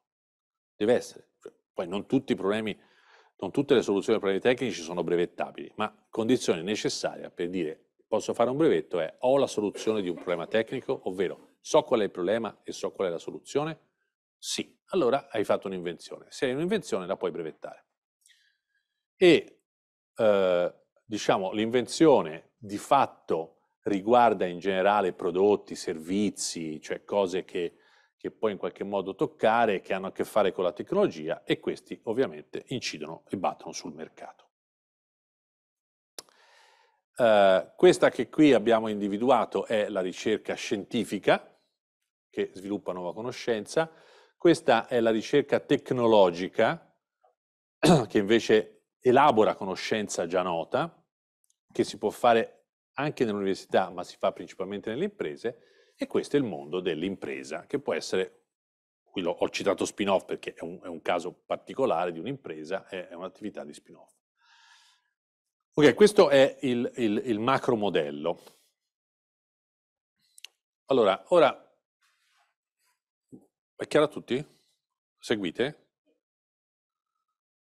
Volete farmi delle domande? No? Sì? Siete d'accordo?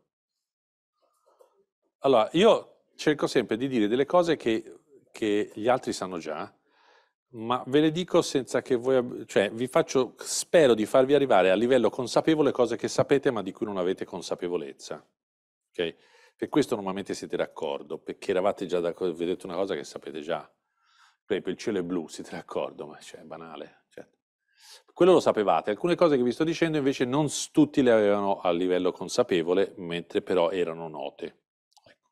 La consapevolezza eh, ritengo che sia un passaggio importante. Allora, sono, passato, sono partito da questo, ricerca scientifica. Avevo detto, vi dirò cos'è ricerca scientifica. Questo anche spero che lo sappiate, è un pochino però più, più tricky, come si dice. Allora, io chiamo ricerca scientifica quella che si fa nell'ambito delle discipline. Ok? Quindi faccio microbiologia cellulare, faccio eh, fisica dei materiali, faccio giurisprudenza eh, nel diritto civile. Discipline. Perché le discipline hanno dei metodi, hanno delle loro regole e hanno il loro bagaglio di conoscenza. Quindi verticale. Cosa produce la ricerca scientifica? Produce, scusa, sì, la ricerca, produce modelli. Questo è il passaggio. Conoscenza vuol dire modelli. Dici, che vuol dire? Ora te lo spiego. Allora, noi abbiamo, eh, di, diciamo, ci piace molto classificare, categorizzare, no? differenziare. Queste sono tutte parole che se andate su, sul nostro esperto Wikipedia vi trova sempre, quindi Blue Sky, Curiosity Driven, Fundamental, Basic, Applied, Finalized, Scientific, Technologic, Experimental, Theoretical, cioè è tanta roba, è tanta roba. Cos'è che ha di comune questa cosa qui? Il metodo, qualcuno potrebbe dire, il metodo. Io, a me oggi fa piacere immaginare che ci sia invece l'obiettivo, il risultato, scusate, il risultato che è lo stesso. C'è anche il metodo, ma il risultato mi interessa di più, perché il risultato è quello che dobbiamo trasferire. Il metodo non lo trasferiamo, il risultato sì. Allora, guardate questo. Wikipedia. Blue Sky Research, also called Blue Sky Science, is scientific research in domains where real-world applications are not immediately apparent. It has been defined as research without a clear goal and curiosity-driven science. Allora, questa definizione ci piaccia o non ci piaccia, però c'è un punto interessante. Lui dice è una ricerca che non ha a priori, quando la faccio, quando la svolgo, una evidente applicazione. Cioè non la faccio perché voglio trovare la soluzione al problema, la faccio perché voglio capire delle cose, indipendentemente da quale sia la possibile applicazione. Questo è okay? in domains where their real world applications are not immediately apparent. È chiaro? Chiaro? Quindi io la, la dichiaro in maniera provocatoria ma concreta inutile. Inutile, cioè non è prevista l'utilità. Inutile. Allora dice, giusto fare cose inutili? Allora, application is not a motivation for researchers, but can be among the consequences. Cioè il fatto che sia inutile a priori non vuol dire che io alla fine non abbia capito delle cose che possono essere utili. Cioè non è che voglio che sia inutile, attenzione. Non la faccio per, uno, per una utilità, ma se trovo un'utilità, a questo punto spreco una cosa. È chiaro il concetto? Prima vi ho detto, vi ho detto libertà e autonomia e responsabilità. Allora, se io pretendo di fare la ricerca che mi pare, devo anche essere responsabile che se ho trovato delle cose che hanno un potenziale di utilità, io le restituisco. È un tema di restituzione di valore. Questo, application is not a motivation, but can be among the consequences. Qui il grandissimo, grandissimo uh, Richard Feynman, di cui eh, vi consiglio di leggere i, i libri Ercoli perché sono divertenti, premio Nobel per la fisica, vedete, è un godereccio, no? È un godereccio. Premio Nobel per la fisica nel 65, si dice che dicesse, sì, ma non importa, facciamo finta che l'abbia detto davvero, si dice che dicesse questo, la fisica è come il sesso, certamente può dare alcuni risultati pratici, ma non è per quello che lo facciamo. È chiaro? Questo lo ricorderete, immagino, che poi di tutte queste robe l'unica cosa che si ricordano è Feynman, è così, così, lo so, per questo lo metto, almeno vi ricordate Feynman. La fisica è come il sesso. Allora, Cos'è il modello? Questo è un aneddoto carino che ho letto su un libro, ma poi lo trovate ovunque perché ho scoperto che è una roba molto nota. Eh, la conoscete questa storia di Gauss? Dite di no, per favore. La conoscete? Oh, grazie. È come quando uno racconta le barzellette, no? Dio ti dice, ah, la so, ma che palle. Diti no, perlomeno. Cinque minuti, fai finta di non saperla. Quindi, mi raccomando, dite che non l'avete mai vista. Allora, chi è Gauss? Gauss è questo signore qui che stava sulle banconote da 10 marchi quando esisteva ancora il marco, che ora si chiama euro, sapete questa banconota qui.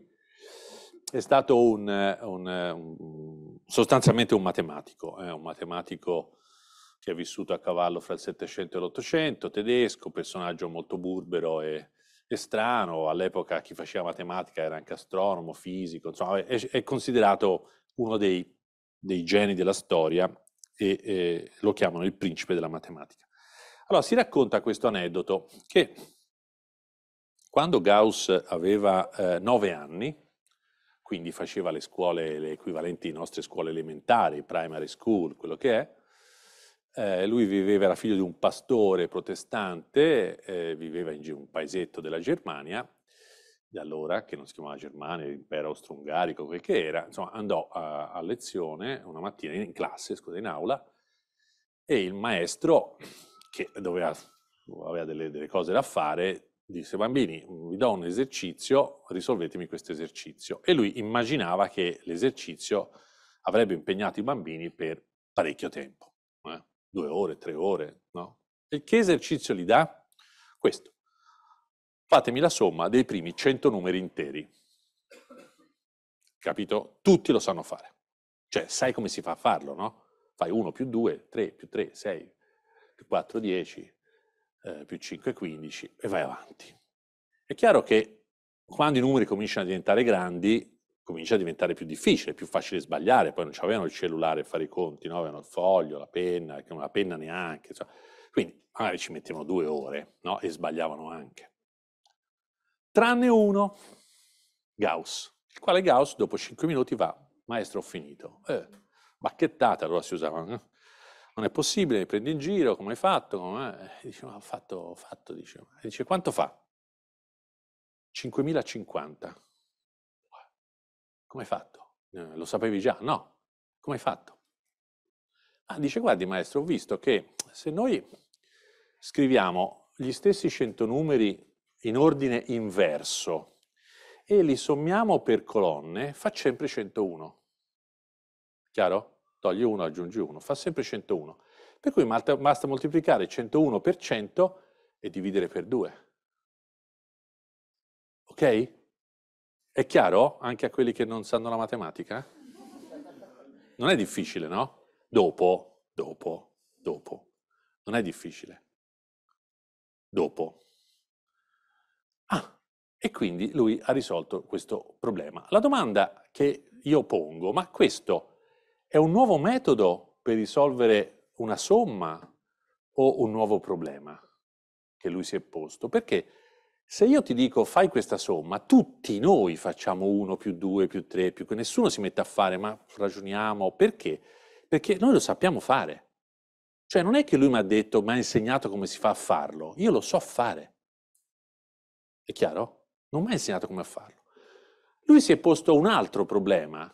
Come faccio a farlo in fretta? Che è un'altra domanda. E gli altri non sapevano farlo in fretta, ci mettevano delle ore. Quindi lui non ha trovato un nuovo metodo, si è posto un altro problema. È qui che sta un po', se volete, il trucco nel capire a cosa serve ciò che io faccio.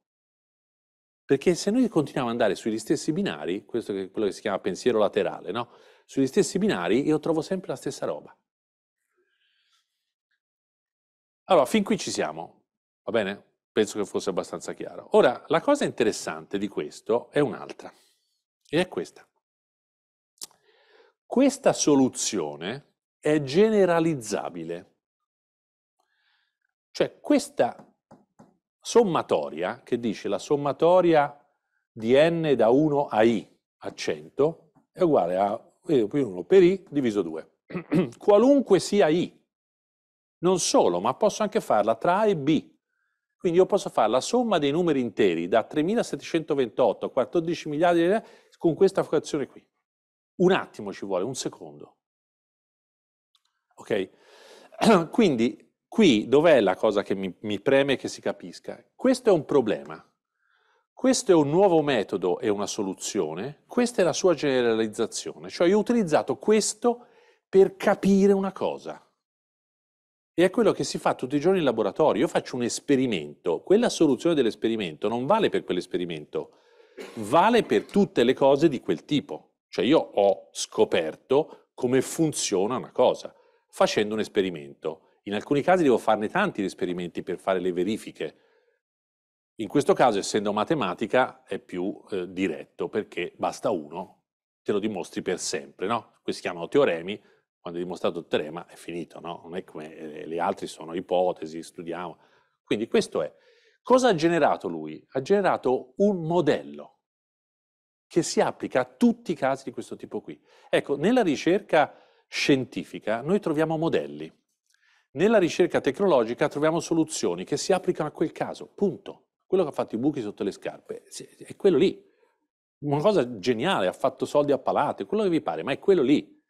Questo invece non ha risolto nessun problema reale, se non il suo di farsi bacchettare le dita dal maestro, ma ha trovato una roba che oggi si usa in tutti i computer quando fai, so, una, devi calcolare delle matrici di numeri e, e usi questa roba qui, perché sennò più grande la matrice più ci stai. No, è uguale, è indipendente dalla, dalla dimensione. È chiaro? Quindi per me, e quindi vorrei che voi eh, recepisse questo, la ricerca scientifica deve generare modelli. Cioè la conoscenza non è relativa a quella cosa che facciamo, ma quella cosa che facciamo è un modello di un sistema di conoscenza della natura in questo caso. Lo sapevate? Sì. Se avessi chiesto avreste saputo rispondere no. Ok? Conoscenza. Perché lo facciamo? Ah, questo deve essere finanziato da, dai soldi pubblici. Eh? Non c'è nessuno che vi finanzierà per fare modelli privati. Le imprese vogliono soluzioni di robe pratiche. Senza soldi pubblici questa roba non si fa. Ci sono sempre le eccezioni. So, le, eccezioni esistono sempre. Le eccezioni esistono sempre. Io non parlo per eccezioni, parlo per banale norma. Quindi questo è.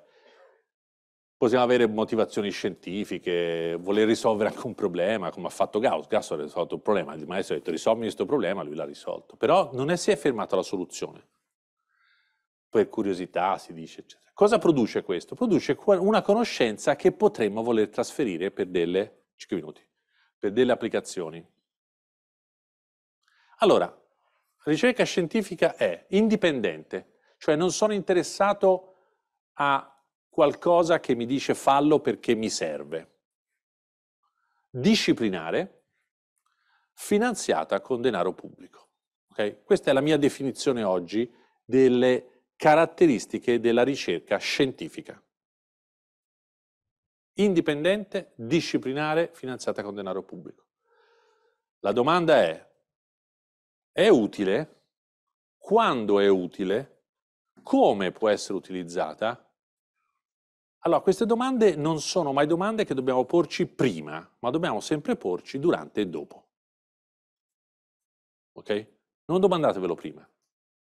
Siate liberi, ma domandatelo durante e dopo, perché se per caso vi sfuggono queste domande, avete prodotto addirittura un danno.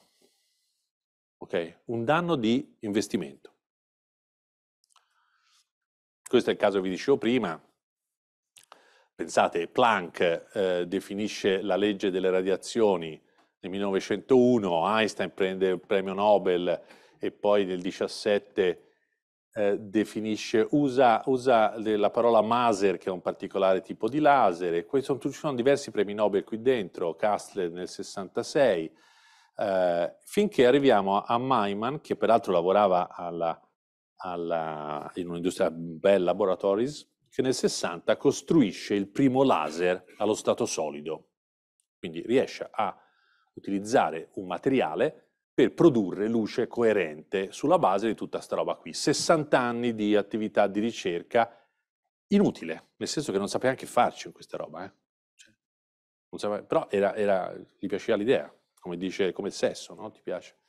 Quindi riesce a costruire questa roba, questo eh, è sempre lui e questo è, un, è, uno dei suoi primi brevetti del 67, in cui, in cui fa vedere come si fa a costruire un, una sorgente di luce laser. Quindi non ha inventato il laser, perché non puoi inventare il laser, ha inventato luce. Ha inventato un oggetto, quindi qual è il problema? Come faccio a generare un raggio laser? Costruisco questo affare qui. Ok? Sempre il problema. Il problema è come faccio a costruire un raggio laser? partendo da energia elettrica con questo affare qui, brevetto. Questi sono i brevetti per eh, decadi, prima degli anni, che, la che hanno la parola laser o nel titolo o nell'abstract. Prima degli anni 50 non esisteva la parola laser, negli anni 55, poi vedete anni 60, ta, ta, ta, ta nella prima decade del, degli anni 2000, 170.000 brevetti la, dentro laser. Ora voi capite che evidentemente siamo veramente a conoscenza ancora totalmente embrionale, perché con questa roba qui si possono inventare 170.000 invenzioni diverse che usano il laser. Capite com'è es- esplosivo, no? Quindi se tutte queste facessero riferimento a questo brevetto, come brevetto dipendente, chiaramente questo qui potrebbe essere miliardario, nel frattempo è morto e, e, e questo è.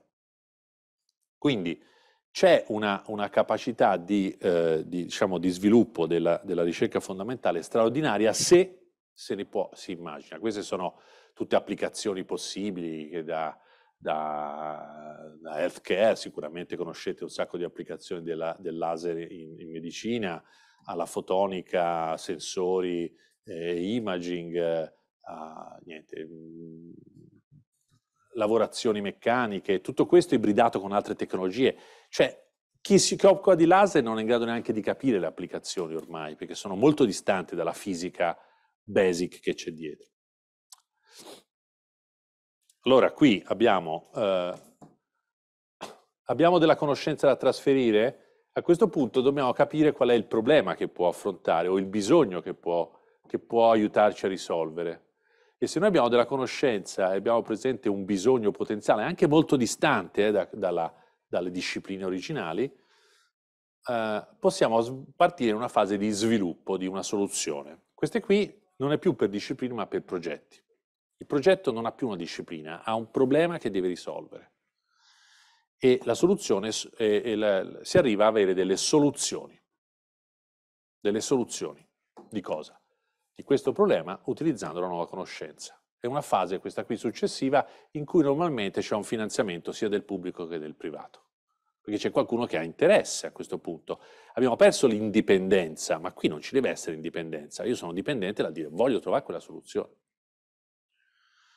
A questo punto, se mi funziona la soluzione, devo trovarla, devo essere in grado di applicarla, quella che è tutta la fase a questo punto di ingegnerizzazione, prove, prima qualcuno parlava fasi di sperimentazione, no? nel caso di, di, di un prodotto eh, per la salute e quant'altro, e le applicazioni generano produzione e mercato, cioè ricaduta verso prodotti, servizi, mercato e in qualche modo l'impatto sulla società. Questo normalmente è finanziato da denaro privato, e qui c'è qualcuno che investe per portare a casa eh, dei margini e degli utili da distribuire agli, agli investitori. Eh. Questo è, è, il percorso un po' banale, se volete, ma è il percorso. Chiudo, prima del vostro intervallo, dicendo che questi sono i, i tre elementi, no? Ricerca scientifica, problemi possibili della società e l'impatto come soluzione dei problemi con la nuova conoscenza. Ecco, questo richiede che tu in qualche modo abbia comunque una visione un po' del mondo in cui si vive. Guardate, molti ricercatori vivono in un mondo un po' isolato, no? Il che n- nulla ha a che fare con la qualità della loro ricerca, però attenzione, non possiamo più permetterci di vivere in questo modo. Dobbiamo, secondo me, avere un'idea anche della possibile utilità laddove la trovassi. Allora, eh, raccontavo questa storia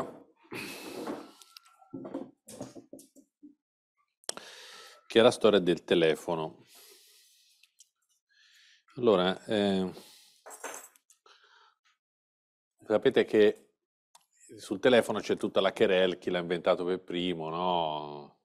Meucci o Bell, poi insomma gli americani hanno detto sì, è vero, l'ha inventato prima Meucci, però i soldi ce l'ha fatti Bell, eh, Meucci è morto poveraccio e Bell ha fatto la Bell Company e ha fatto i soldi. Allora, la, questo non ci interessa. La storia che, eh, che, vi racconto è questa. Questo qui è una foto che ho trovato in rete di, di un primo telefono, insomma, sarà stato uno dei primissimi telefoni di Alexander Bell. E quando lui inventò il telefono, che il telefono ha una peculiarità, che per far vedere che funziona ce ne vuole due. Cioè un telefono da solo non funziona, no? Ce ne vuole due. Quindi aveva fatto due telefoni, eccetera, da, eh, aveva bisogno di quattrini per, per mettere sull'impresa, una start-up di fatto, no? Lui aveva inventato l'oggetto, l'aveva brevettato, eccetera. aveva bisogno di soldi per fare la sua start-up. Parliamo della, della fine del, del, dell'Ottocento. Va dal sindaco di New York a fargli vedere questo oggetto dicendo oh mi dia un po' di soldi che mettiamo su questa, questa business del telefono e glielo fa vedere e glielo fa provare e lui dice bellissimo, fantastico, dice ma non ho capito a cosa serve. Non esisteva, eh? Non ho capito a cosa serve. E lui dice ma come? Puoi chiamare tutte le città degli Stati Uniti, addirittura si dice puoi chiamare i sindaci delle città, delle altre città degli Stati Uniti. E lui risponde ma perché dovrei chiamarlo? Non conosco nessuno fuori da New York. È chiaro? Cioè questo qui ha inventato una roba che nessuno sa a cosa può servire. Perché nessuno ha mai avuto il problema di parlare con uno distante. Te parli con uno che sta di fronte a te. Perché devo parlare con uno che non c'è? Guardate, parliamo di una roba di 100, 130 anni fa. Ok? Quindi un'invenzione straordinaria, perché ormai non possiamo vivere senza, che è stata inventata senza che servisse a qualcosa. Quindi non solo hanno scoperto come fare a trasmettere onde elettromagnetiche, a trasformare suono in onde, onde in suono, ma addirittura per un'applicazione che non serve a nessuno. Quindi siamo proprio al, all'essenza della cosa inutile. Di fatto poi la cosa funzionava, questa è una fotografia del 1899, quindi pochi anni dopo, in cui, guardate, questo è Local and Long Distance, uh, branch office, questo qui è, è, un, è un, telefono pubblico, telefono pubblico, costava 50 centesimi al minuto parlare da Los Angeles a San Francisco, circa 14 dollari di oggi, eh, col telefono pubblico. Questo eh, è una fotografia carina degli anni 30 in cui si vede una, una ragazza che sta in macchina e telefona dalla macchina. Eh? Quindi il primo, la prima esigenza di avere il telefono a disposizione quando ti serve, non solamente eh, a casa attaccato al muro come avevamo eh, anni fa. Questo è il, telefono a gettoni. Il primo telefono a gettoni in Italia è stato, è stato costruito e installato il 10 febbraio del 52 in piazza San Babila a Milano. Prima non esisteva il telefono pubblico a gettoni, eh, dovevi andare alla cabina del, del, bar piuttosto che in albergo o a casa. Per dirvi, sto parlando di una roba non, non, non di secoli fa, eh, questa è, è raccontata come la prima telefonata fatta da un telefono mobile. Questo signore Martin Cooper era il capo del, dello staff che faceva ricerche sulla telefonia mobile in Motorola. Parliamo del 73. E vedete, è carina perché la foto è fatta di fronte a quelli in coda alla cabina telefonica. No? E, e, si dice che questa valigetta tenesse un, tipo una 10 kg di batterie perché all'epoca il problema era la batteria. Hm? batteria. Che poi sempre il, c'è sempre il collo di bottiglia delle invenzioni, cioè inventi il telefono ma non hai la batteria. Che una volta le batterie erano al piombo, eh, è un casino, come fai ad andare in giro con un oggetto? Eh, e poi abbiamo questa, questa invenzione straordinaria, questa, che è la SIM card. Allora, questa invenzione è stata brevettata qui, questo è il brevetto della Nokia del, del 1991, in cui Nokia brevetta la SIM card e sbarella. Perché? Perché prima, voi non ve lo ricordate probabilmente, anzi direi sicuramente, eh, i primi telefoni eh, cellulari avevano incorporata la linea, per cui se uno cambiava telefono doveva cambiare linea. Eh, e, e, poi c'era il tema di come attaccarmi, quello lì era la linea XYZ. La Nokia invece brevetta la SIM card, che sostanzialmente è il contratto io compro il telefono che mi pare, ci infilo questo e vado. Mm? E la cosa divertente e interessante è che ha utilizzato il brevetto in modo diverso, cioè non ha usato il brevetto per proteggere, ma per diffondere. Cioè lei ha regalato questo brevetto della SIM card a tutti i provider del mondo, dicendo usate questo, ve lo regalo. E quindi è diventato lo standard, ma lei era l'unica che aveva i telefoni con lo standard e quindi tutti gli altri ci hanno messo mesi per fare i loro telefoni con la SIM card e quindi lei ha conquistato il mercato grazie a un brevetto che ha regalato a tutti i provider. 1991 nasce la telefonia come la conosciamo oggi. Okay, la SIM è sempre quella, la micro SIM, insomma, il concetto è sostanzialmente quello. La tecnologia esisteva già dagli anni 70, ma mancava tutto il resto. Quindi come vedete anche lì ho un'invenzione, funziona, ma non è detto che sia in grado di venderla a qualcuno, perché se ho brevettato qualcosa nel 73, nel 91 ormai siamo out, ok? Quindi attenzione, c'è un tema anche di obsolescenza, c'è un tema di, di time to market, di tempo. Foto, fotografia, questa è una delle prime macchine fotografiche da gherrotipo che andava con le lastre, mh, mm, eh, l'argento, i sali d'argento e bla bla bla. Eh, qual era il problema di quell'epoca lì? Che le fotografie le facevano solo i fotografi professionisti perché avevano accesso a queste macchine. Accesso. Eh, nel, eh, alla fine dell'Ottocento la Kodak inventa questa roba qui che dice You press the button, we do the rest. The only camera that anybody can use without instructions. Cioè non è che cambia la tecnologia, però la tecnologia diventa accessibile. Quindi hanno inventato un sistema per far sì che anche io posso comprarmi questo oggetto e fare delle fotografie. Capite cosa vuol dire a livello di mercato? Uh, la Kodak poi sviluppa la pellicola e la pellicola è stata quella con cui abbiamo, abbiamo vissuto per eh, cent'anni, eh, la pellicola. Uh, la pellicola è stata fatta poi dal bianco e nero al colore, la diapositiva, la risoluzione, tutto quello che vi pare, finché un bel giorno, negli anni, fine anni 80, inventano il, il, il CCD, okay? cioè il silicio che registra le immagini. Qui c'è un passaggio importante dalla chimica alla fisica, non è un passaggio incrementale, mentre fino a qui era stato incrementale, dal vetro alla pellicola, dal bianco e nero, cioè mi, continuo a migliorare, qui non miglioro nulla, qui cambio. Cioè prima era chimica, questa è fisica, con alcuni vantaggi. La chimica è irreversibile, quindi faccio una pellicola e poi o uso quella o la butto. La fisica invece è reversibile, ci prendo una foto, la cancello e ce la rifaccio sopra, no? Quindi con dei, fra l'altro, vantaggi di costo enormi, no? Di archiviazione, tutto quello che vi pare. Ma è un altro, metodo, un altro metodo, la Kodak è fallita perché non ha capito che non poteva continuare a fare chimica, doveva fare fisica. Vabbè, questo è. Perché vi ho raccontato queste storie? Perché se le mettiamo in parallelo, il telefono sopra e la macchina fotografica sotto, e cerchiamo di capire cosa nasce dalla ricerca e cosa nasce dal mercato, io ho messo R, mia interpretazione, ciò che viene perché si è fatta della ricerca, e M, ciò che viene perché penso che il mercato lo voglia. Perché il primo telefono è evidente, il mercato non gliene fregava assolutamente nulla, nessuno sentiva il bisogno del telefono, però quello lì, eh, facendo ricerca sulle onde elettromagnetiche, trova il modo di trasferire la voce.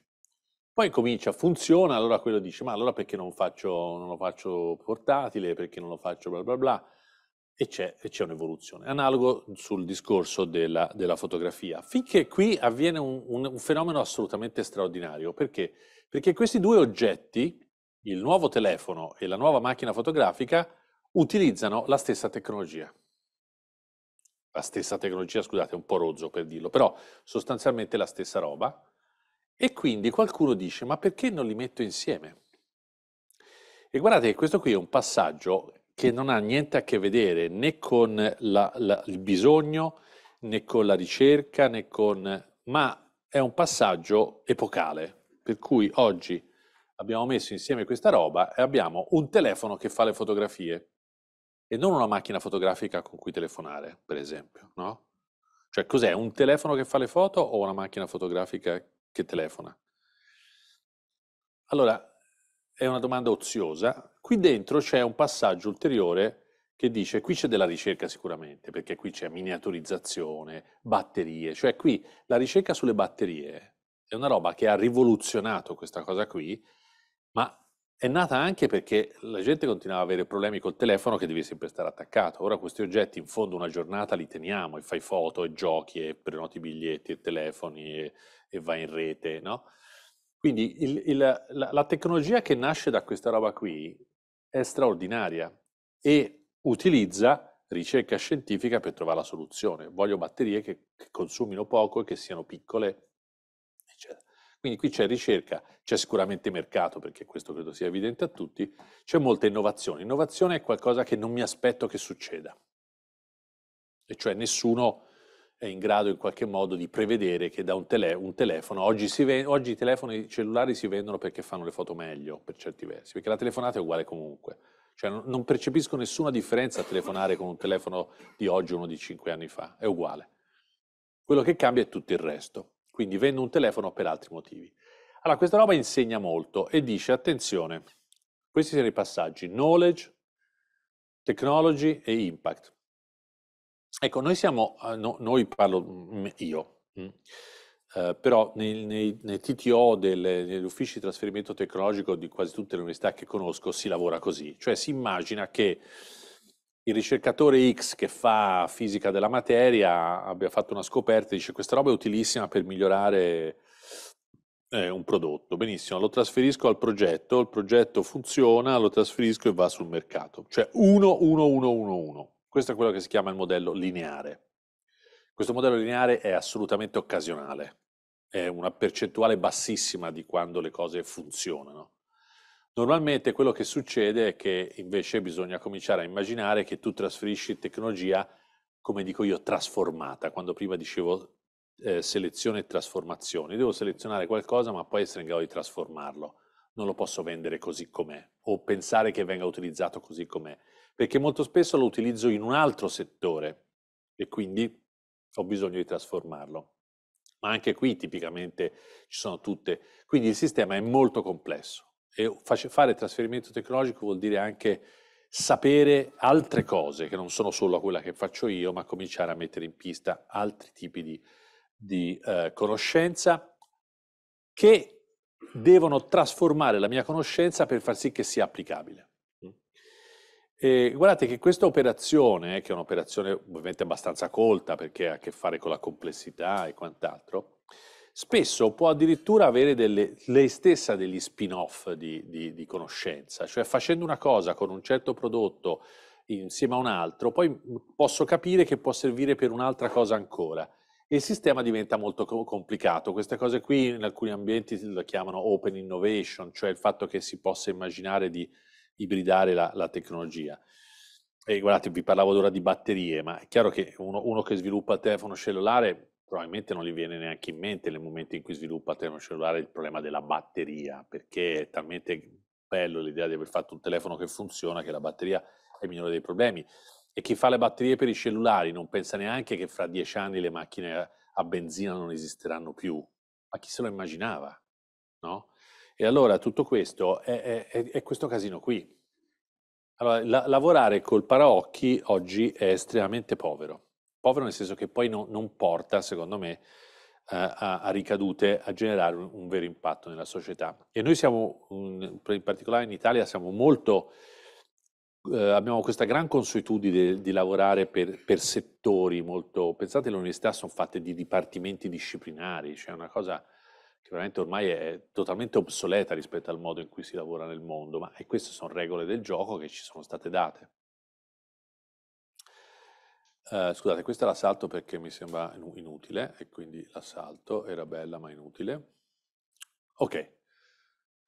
Uh, il tema è come immaginare e come indirizzare i risultati delle ricerche rispetto a un'applicazione. Io qui vi racconto la storia di, un mio amico, che fra l'altro è venuto qui, ha fatto una lezione, devo dire, entusiasmante con quell'altra cosa che, avevamo, che diceva prima Fabio Terragni, che è attualmente un professore di scienza dei materiali in una università italiana e ha avuto una, una storia personale, secondo me, abbastanza straordinaria. Io non la so raccontare eh, nei dettagli, che sono talvolta molto, molto importanti, vi racconto però il, il senso della cosa. Lui ha fatto un, un dottorato di ricerca eh, in scienza dei materiali. Eh, in particolare lui è un ingegnere e si occupa di polimeri. E eh, il dottorato di ricerca eh, era finanziato, la sua borsa finanziata da, una, da un'azienda che aveva come tema il mm, trovare un materiale assorbente per pannolini in generale, eh, un materiale assorbente biodegradabile, perché diciamo che il, lui dice che il volume maggiore di rifiuti eh, urbani non degradabili sono i pannolini di tutte le razze possibili e immaginabili, eh? da quelli per, per, bambini a quelli per adulti, a quelli femminili e quant'altro. Quindi l'idea di avere un pannolino con il, il fluff assorbente biodegradabile poteva essere la. Comunque questi finanziano il dottorato. Lui fa la sua tesi, fa il suo lavoro di dottorato e in effetti, in effetti alla fine eh, trova un, un, un, gel, un gel assorbente, eh, idrofilo, fortemente idrofilo, a base di, di, di cellulosa e quindi biodegradabile. Lo sviluppa, mette a punto, fa le prove, funziona, eccetera, eccetera, brevettano questa roba qui. Finito il dottorato, eh, questi dicono, guarda, non ci interessa più. Nel frattempo abbiamo pensato a altri tipi di, di mercati, quindi non ci interessa, e gli lasciano il brevetto a lui. A, lui, a loro, insomma, il gruppetto, erano in tre gli inventori, lui era più il, il dottorando. Gli lasciano questo brevetto, però chiaramente se questo qui, che era il più grande produttore del mondo di questa roba, non gli interessa, a chi lo vendi? No? Cioè, hai fatto una roba per i pannolini e quello dei pannolini che te l'ha addirittura commissionata e pagata, dice guarda te lo lascio, non me ne frega nulla, è chiaro che... E lui comincia a ragionare, va a fare un postdoc all'MIT a Boston e eh, partecipa a una gara per eh, neoimprenditori, idee di business, no? business plan, eh, competition, eccetera, e propone di costruire dei filtri per emodialisi basati sul suo prodotto. Eh? Realizza un filtro sperimentale, funziona abbastanza bene, eccetera, eccetera, vince il primo premio all'MIT, che è gasatissimo, la sera del premio incontra degli investitori che sono andati alla premiazione, eccetera, il presidente del prodotto dice no, guarda, questa roba non ce ne frega nulla, non funziona, sicuramente a livello clinico, c'ha tutto un serie di, di, problemi, eccetera, eccetera, quindi dice grazie, bellissimo, il progetto è meraviglioso, il business plan fatto benissimo, ma grazie, non ce ne frega nulla. E quindi eh, rimane così. Allora comincia a pensare cosa farci, cosa farci e gli viene in mente di utilizzarlo per, eh, per i terreni in zone aride. Cioè dice se questo lo mescoli nella, ne, con la terra, quando piove assorbe l'umidità, assorbe l'acqua e la rilascia, essendo biodegradabile, la rilascia nel tempo. Fanno delle sperimentazioni, gli viene investito da BASF, uh, fra l'altro questa è la, la homepage, no la homepage, come si chiama? La copertina, scusa, la copertina di Green Chemistry col suo prodotto, perché aveva pubblicato sta roba, grande successo. Uh, BASF ci investe, fanno un'intera cominciano a fare delle sperimentazioni su dei campi in Brasile, dove facevano biofuel, quindi una roba che si riesce a fare più coltivazioni durante l'anno, mettono questa roba lì dentro, funziona, a un certo punto, dopo aver sperimentato un po' questa roba, gli dicono guarda, la cosa funziona, però ha delle complicazioni, dicono grazie, buongiorno, buonasera, e quindi ritorniamo a zero. Nel frattempo lui ha fatto sperimentazioni pagate, eh? quindi li finanziavano cosiddetto la, la ricerca, che poi è sviluppo. Sempre lo stesso prodotto, identico. Quindi torna a casa e fa la sua startup, no? con un po' di soldi che prende da amici e parenti e mette su una sua piccola aziendina all'università per fabbricare questo prodotto. E cosa ci fa? Ci fa questo oggetto che è, eh, che è un, um, un, sistema per eh, le diete. Sì. Ah, perché tu sei... Ah, ecco. fare da consulenza per eh, consulenza per il breve e ce. Bella storia, no? Poi, sì. Beh, è sempre lui, ragazzi, lo so, è un, è un grande successo. Allora, allora, come ho conosciuto Alessandro Sannino? Al di là del fatto che insomma c'erano tutte delle relazioni preghe, ma non lo conoscevo personalmente. Allora, un po' di anni fa, eh, eh, io Ero presidente di una commissione di concorso da associato, ora lui ordinario da tempo, insomma, era ancora ricercatore. Eh, ero presidente di una commissione da, da, associato e fra i vari candidati c'era questo Alessandro Sannino. Vabbè, viene e se all'orale della commissione, era prima delle abilitazioni, prima delle idoneità, ancora i concorsi vecchi. Arriva questo, questo, ragazzo e gli si dice, ma di cosa ti occupi con la tua attività di ricerca? Lui dice, scusi, posso avere un bicchiere d'acqua? Ecco, diamo un bicchiere d'acqua. Gli diamo un bicchiere d'acqua, lui lo riempie così, apre questa cosina e la versa dentro. Io dico, ma che fai? Cioè, no, no, dice, aspetti, aspetti. Passano tre minuti e fa così. Solida. Cioè, aveva messo dentro, ma un grammo, due grammi di questa polverina e in cinque minuti butta giù, l'acqua è diventata solida. Perché è un gel che, che assorbe, non mi ricordo quanto, ma tipo so, 300 volte il suo volume di acqua. E quindi l'acqua è assorbita nel gel, viene intrappolata nella, nelle, nelle, nella matrice polimerica e diventa solido. Oh, fa questo, già questo giochino qui interessante. Poi prende e lo mangia perché è biodegradabile. Bocciato, chiaramente. Cioè, non era il suo turno, diciamo così. Comunque è andata bene poi, no? Io ho conosciuto così Alessandro. Allora, lui dice, ma scusami, questo fatto qui, no? Se tu butti nello stomaco di uno, gli fai bere un bel litrozzo d'acqua e gli butti giù un po' di questa roba, questo te lo riempie, diventa solido e te hai senso di sazietà. Dopodiché, chiaramente lo elimini e è acqua.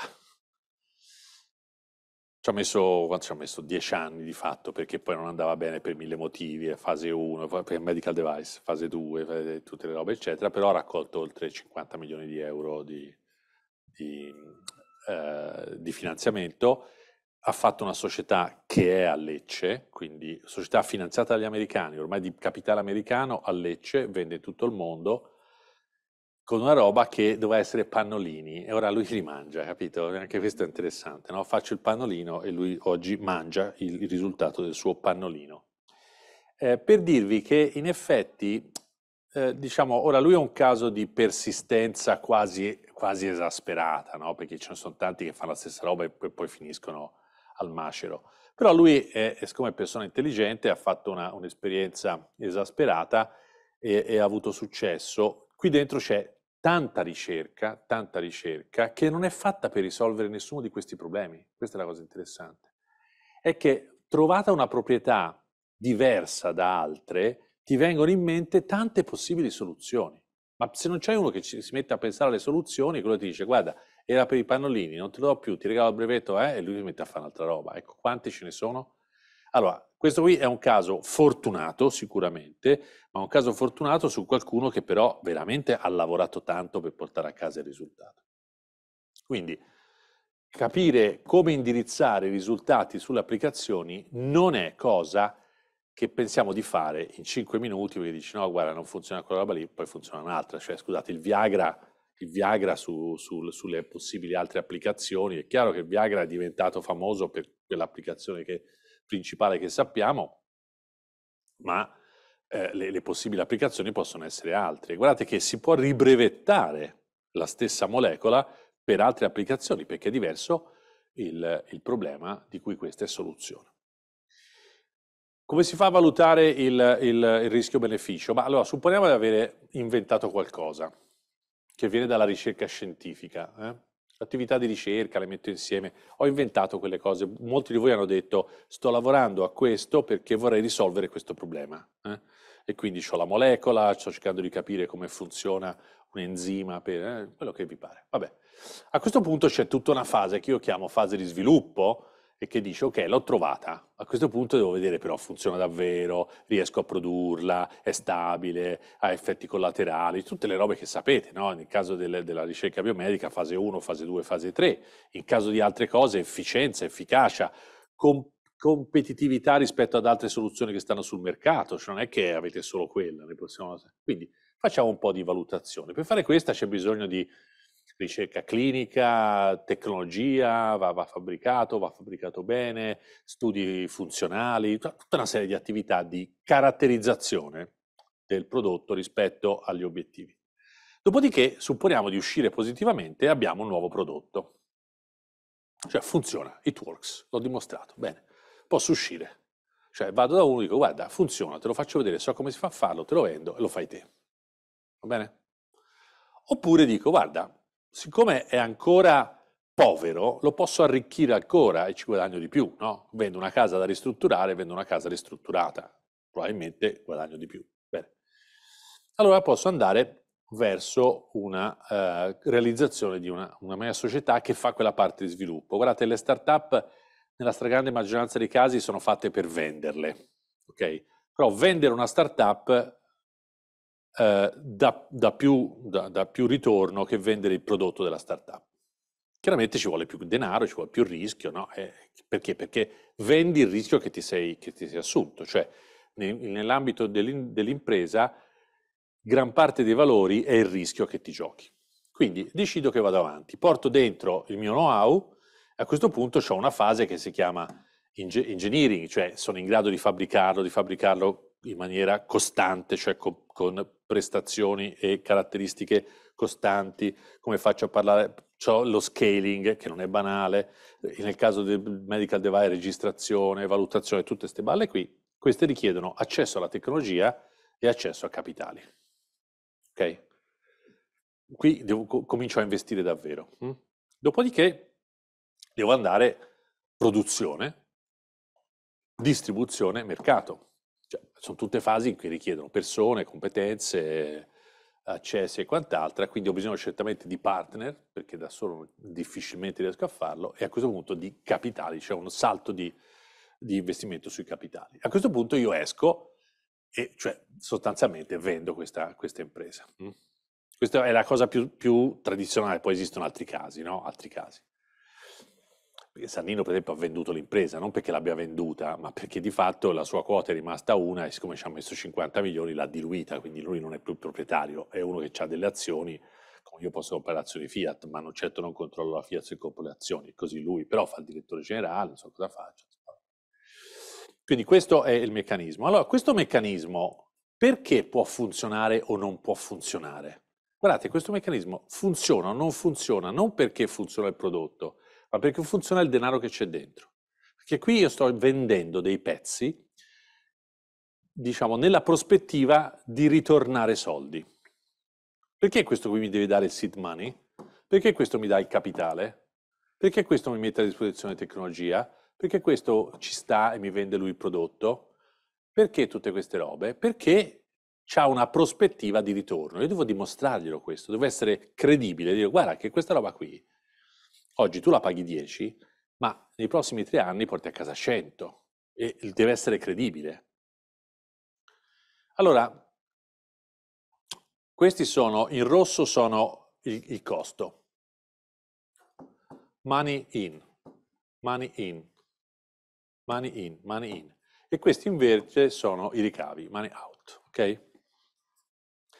Allora, in questo progetto io abbiamo 1, 2, 1, 2, 5, cioè se la exit è al 5, e poi 3, 4, 6. Allora, vedete che io qui ho dei costi di ricerca, qui ho dei costi di un po' di sviluppo, proof of concept, e devo portare a casa, un, se vendo qui, devo portare a casa almeno di recuperare questi ed avere un po' di soldi per reinvestire in ricerca.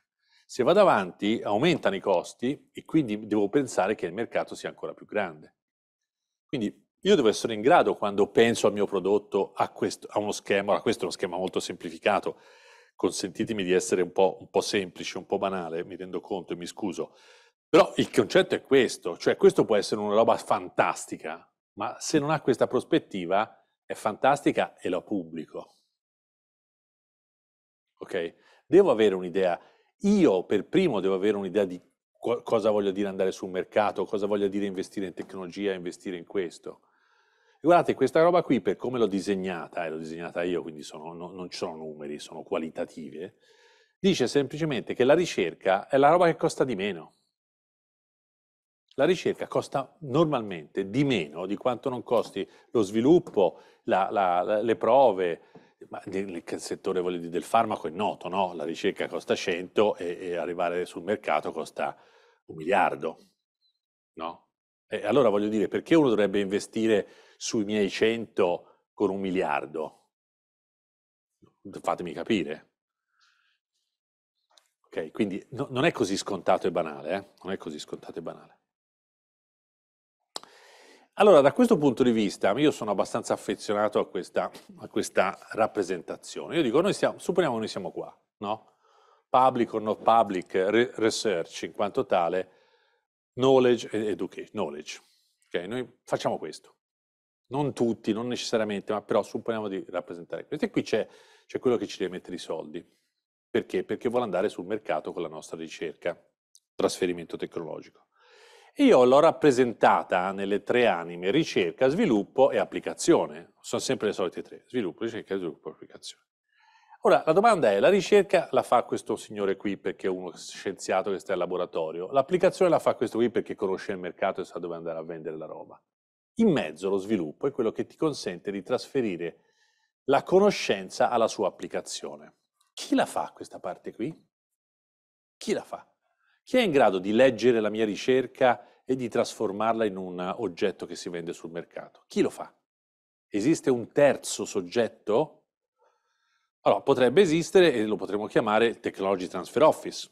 Però Technology Transfer Office è, un, è uno che deve capire questa roba qui, non è uno che fa i contratti, eh? cioè deve capire questa roba qui per convincere questo. Poi può essere un Technology Transfer Office che fa, like, come si dice, licensing licensing out, cioè che vende, oppure che fa licensing in, cioè che sta di qui e cerca, e cerca soluzioni sulla ricerca. Non, è, non, necessariamente condividono la cosa. Il licensing out vuole massimizzare il valore, il licensing in vuole minimizzare il valore perché devo comprare. Non è così scontato. Allora la domanda è, eh, quello che succede oggi, normalmente, è che questo qui sta più dalla parte, cioè lo sviluppo lo fa quell'altro. Tu li vendi raw, raw results. Oggi noi ancora siamo nella fase in cui tendenzialmente vendiamo raw results, ma, cioè conoscenza, quelle si chiamano materie prime, questa la chiamo conoscenza prima, eh? Uh, e è knowledge transfer. E questi qui si prendono la ricerca, magari fi ti finanziano una parte di sviluppo, però a quel punto il controllo ce l'hanno loro, si sono beccati il brevetto. Questa è la cosa più standard, non è sempre così, ma è la più standard. Mentre noi dovremmo passare, e qui la mia idea di trasferimento tecnologico in un posto come questo, per esempio, dovremmo passare a un modello in cui lo sviluppo si fa più vicino alla ricerca.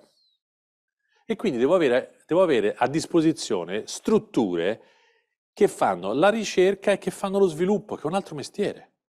Cioè che provano a mescolare questa roba per dare valore alla mia ricerca e trasferire progetti. Cioè, di quelle tre linee, io vorrei che la, la, chi è vicino alla ricerca cominciasse a lavorare su questo. Cioè non vendere più cacao, vendere tavolette di cioccolata. È difficile perché hai bisogno di una struttura che abbia le competenze scientifiche, le competenze giuridiche, le competenze amministrative, la conoscenza del mercato e non deve fare ricerca, però deve capire come utilizzare la ricerca per quella roba lì. Questo è il, è il sogno. Prego. Ma il brevetto lo possiamo immaginare sia qui che qui. A me piace immaginarlo qui. La domanda è molto buona perché noi siamo abituati a vedere il progetto qui. Il progetto qui spesso non coglie, non coglie il problema che voglio risolvere, coglie più la soluzione del problema. Io ho visto un sacco di brevetti, io ho gestito per, per diversi anni il, il, portafoglio brevetti del Politecnico di Milano, ho costruito proprio il, il, l'ufficio brevetti. E mi ricordo, abbiamo fatto, sarà stato 2006-2007, abbiamo fatto un, una, una, una, giornata per festeggiare il centesimo brevetto del Politecnico. Ecco, di quei 100 brevetti che ho, ho visto nascere uno per uno, io ricordo bene come tutti questi volevano brevettare la soluzione senza avere idea di quale fosse il problema, ovvero sì, c'era un problema, ma non era un problema di mercato, è un problema loro, il problema è loro. Eh, e quei brevetti sono tutta roba che butti nel secchio, perché fai vedere la soluzione e uno che ha un problema diverso dice no, è già brevettato, lo prendo a casa e lo porto e lo ribrevetto io. Quindi questo è un rischio. Se tu avessi la fase di sviluppo, tu potessi brevettare la soluzione del problema. Questo ha valore. Questo non lo venderai quasi a nessuno perché? Perché dici, scusa, l'hai già brevettato, eh, già, già, l'hai divulgato, lo, a me serve per un'altra cosa, che, che lo, cioè, lo, uso, punto. Quindi questo è, è, è il concetto vero, ma non lo facciamo praticamente mai. Perché, perché, non lo sappiamo fare anche, eh? ci vuole dell'investimento e, e, secondo me il, i, i, decisori non hanno capito questo. Per loro il trasferimento tecnologico è fare brevetti, non è fare brevetti. È fare i brevetti che servono, gestirli e metterli sul mercato con una finalizzazione precisa. È un arricchimento, insomma. Non so se ho risposto. Il problema di questo modello, il secondo, non è che, non lo so, per sì, sì. io, eh, non è che le acque siano un po' confuse su chi da finanziare. Cioè nel momento in cui un'università riceve finanziamenti per la ricerca e poi per lo sviluppo e l'applicazione intervengano elementi terzi che hanno più a che fare con l'industria, se si sposta lo sviluppo verso la ricerca, non si rischia di fare confusione quindi essere competenti a vincere grant o se non esistono. Allora, eh, non esiste un, una risposta eh, univoca, esistono tanti casi diversi. Eh, il problema vero di questa roba qui è la gestione di queste relazioni. Infatti quando vi verrà Massimiliano Granieri mercoledì potete fargli questi casi, perché è chiaro che noi abbiamo, lo chiamo il dovere, forse anche il diritto, di mantenere autonomia qui e indipendenza. Eh, qui invece, secondo me, no. Qui noi dobbiamo invece eh, identificare un partner che cofinanzia e che in qualche modo ci indirizza e ci aiuta a trovare la soluzione. Eh, e la cosa difficile è sganciare questi due aspetti. Molto spesso questi partner vogliono eh, garanzia di tutto quello che si chiama il background, cioè dice guarda, allora io vengo a fare questa roba, però tutto il background a questo punto diventa nostro, ma questo background potrebbe avere anche altre applicazioni, io non voglio...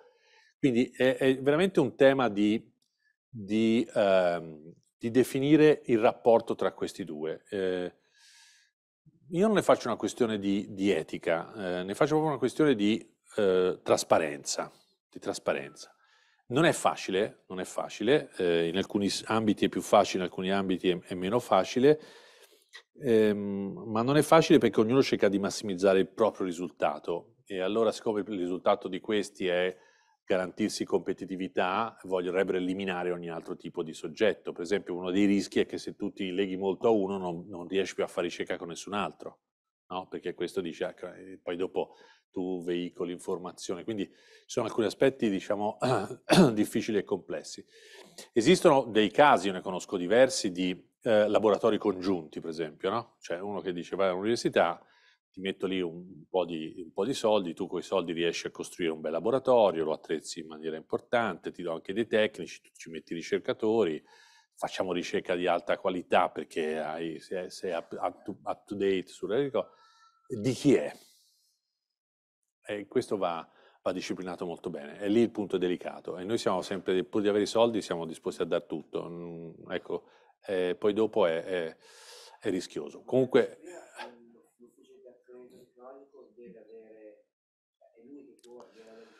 Dipende, eh, dipende. Eh, diciamo qui si entra molto in alcune questioni che hanno a che fare con la policy, quindi di, di governance lo, l'obiettivo. Dopodiché puoi dire all'ufficio di trasferimento tecnologico a, a, gestisci questo in questo e quell'altro modo. Eh, diciamo che attualmente non mi risulta che lo facciano gli uffici di trasferimento tecnologico. Eh. Sono più strategie di relazioni queste qui al momento, eh. però è, non è facile. Um, ovviamente qui aumentano i costi, aumentano i rischi e quindi il valore, eccetera. Allora, who pays the risk? Chi paga il rischio? Perché il rischio è il valore. Abbiamo detto, ora anche qui sto esagerando, eh, sono, parlo un po' per schemi, però il rischio è valore. Allora, eh, il processo supponiamo che sia questo, no? Know-how e new knowledge. Idea, come risolvere un problema, prova, sperimentazione, protezione eventualmente, proprietà intellettuale, ingegnerizzazione, cioè capacità di produzione, produzione, commercializzazione e controllo sul mercato. Questo è un processo, no? Allora, questi, questo è, è, la produzione del valore. Qui viene generato il valore. Senza di questo non avresti il processo, no? Quindi qui viene generato il valore. Ma quanto è questo valore? Questo valore è molto proporzionale in questa fase al rischio, che questa roba non serva a nulla piuttosto che valga poco, eccetera. Quindi va sempre misurato quant'è il rischio di uno che investe a questo punto qui. Perché? Perché queste robe qui, queste cose qui, sono il rischio, cioè mi metto a fare sperimentazione eccetera e scopro che non funziona, o funziona male, o, no, o è peggio di una roba che già esiste può proteggere, scopre che c'è un brevetto che me lo annulla e via discorrendo. No? Allora, se questo rischio se lo, se lo gioca chi compra, questa qui vale poco. Se me lo gioco io, e quindi voglio arrivare fin qui, a questo punto vale tanto. Ma me lo posso permettere? È un rischio comunque sia, no? Quindi il tema vero è, è valutare questo. Dopodiché, chiaramente, queste operazioni, laddove dicano warning non funziona bene, devono ritornare per forza qui. O, cioè, o lo butti via o ritorni lì. Quindi comunque sia, devi sempre reinvestire sul valore. Qui porti a casa i soldi. Ecco, il time to market di questa roba qui è chiave, perché se è come nell'informatica sei mesi è un discorso, se è come nel farmaco dieci anni, insomma, è, allora quanti me ne posso permettere di giocare di rischi di queste partite qui? Tre, quindi attenzione a cosa stiamo facendo. Uh, allora, sulla stima del, del, time to market, mm, anche qui è schematico molto, però è questo. Allora, no, noi abbiamo la conoscenza, abbiamo il mercato. Supponiamo di avere la conoscenza, so una cosa nuova e conosco il mercato possibile. In questo caso è quello che io chiamo innovazione incrementale. Cioè ho migliorato una roba che esiste. È un valore, eh? Guardate, è un valore spesso migliore, superiore. Perché? Perché quella roba esiste, la gente quindi la vuole e io gliene do un meglio. Cioè quelli lì che tutti i giorni che ci dicono ora è uscito il modello uh, iPhone 15 e tutti buttano via il 14 e comprano il 15, non è che sia un altro oggetto, è questo qui che va un po' meglio. Quindi il valore incrementale tocca un tasto su cui tutti siamo già sensibili e quindi lo vogliamo. Quindi ha un bel valore. Però è un valore in cui sono in competizione col mondo, perché il giorno dopo esce fuori quell'altro con quello migliore, no? quindi lì insomma, ci, ci, distribuiamo un po' il mercato. Poi ho invece quella che si chiama disruptive innovation, cioè io da, da questa conoscenza mi viene in mente una roba nuova. Okay? Passo dalla macchina fotografica con la pellicola alla macchina fotografica col silicio, una roba nuova, che nessuno si aspetta. E quindi da lì io posso lavorare sempre su diciamo, l'incremento di un'innovazione, cioè il prodotto esiste già, ma io te, te, lo rinnovo completamente con delle nuove funzioni. Può darsi che questo qui addirittura elimini questo dal mercato, eh, quindi si porta a casa tutto il mercato nuovo.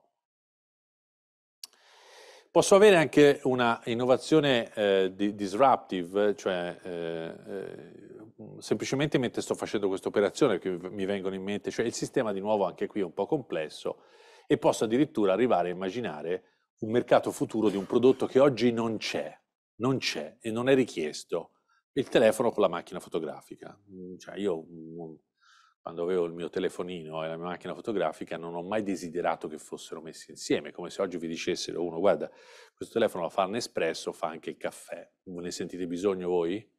No, vi è mai venuto in mente? No, se ci fosse dice che stupidaggine. Ecco, a me è venuto in mente che stupidaggine quando questi facevano le fotografie la prima volta che l'ho visti. Capito? Disruptive, il mercato non c'è, future market, però questo qui è interessante. Spesso per fare questa roba ci sono altre tecnologie che entrano dentro, no? E quindi è veramente una roba da esperti di innovazione che però conoscono le tecnologie. Allora, questo primo passaggio è Short time to market. Incrementale è è facile. Okay? Si migliora qualcosa che c'è già, il mercato è pronto, l'accesso al mercato è istantaneo. Il processo è, sic- è sicuramente sano e facile e sicuro, cioè ci metti i soldi, porti a casa i soldi, perché lo sai, lo conosci.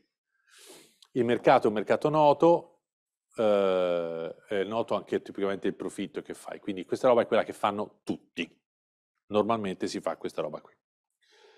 Poi c'è invece eh, questo qui sulla disruptive, cioè qualcosa che viene proprio dalla ricerca e che inventa una roba che prima non c'era.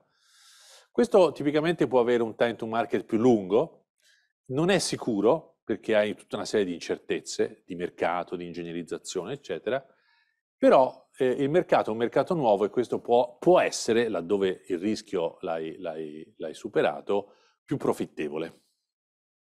E poi abbiamo invece il, quello della disruptive totale, che tipicamente ha un time to market lungo, pensate a quello lì del telefono, glielo fa vedere, quello non gliene frega nulla e ci mette un po' di anni per, il processo è estremamente rischioso, il mercato è non conosciuto, così come non è conosciuto questo, ma tipicamente questo qui, se funziona, è quello che dà maggiori profitti. Quindi è più facile, è più facile eh, valorizzarlo, però con rischi superiori.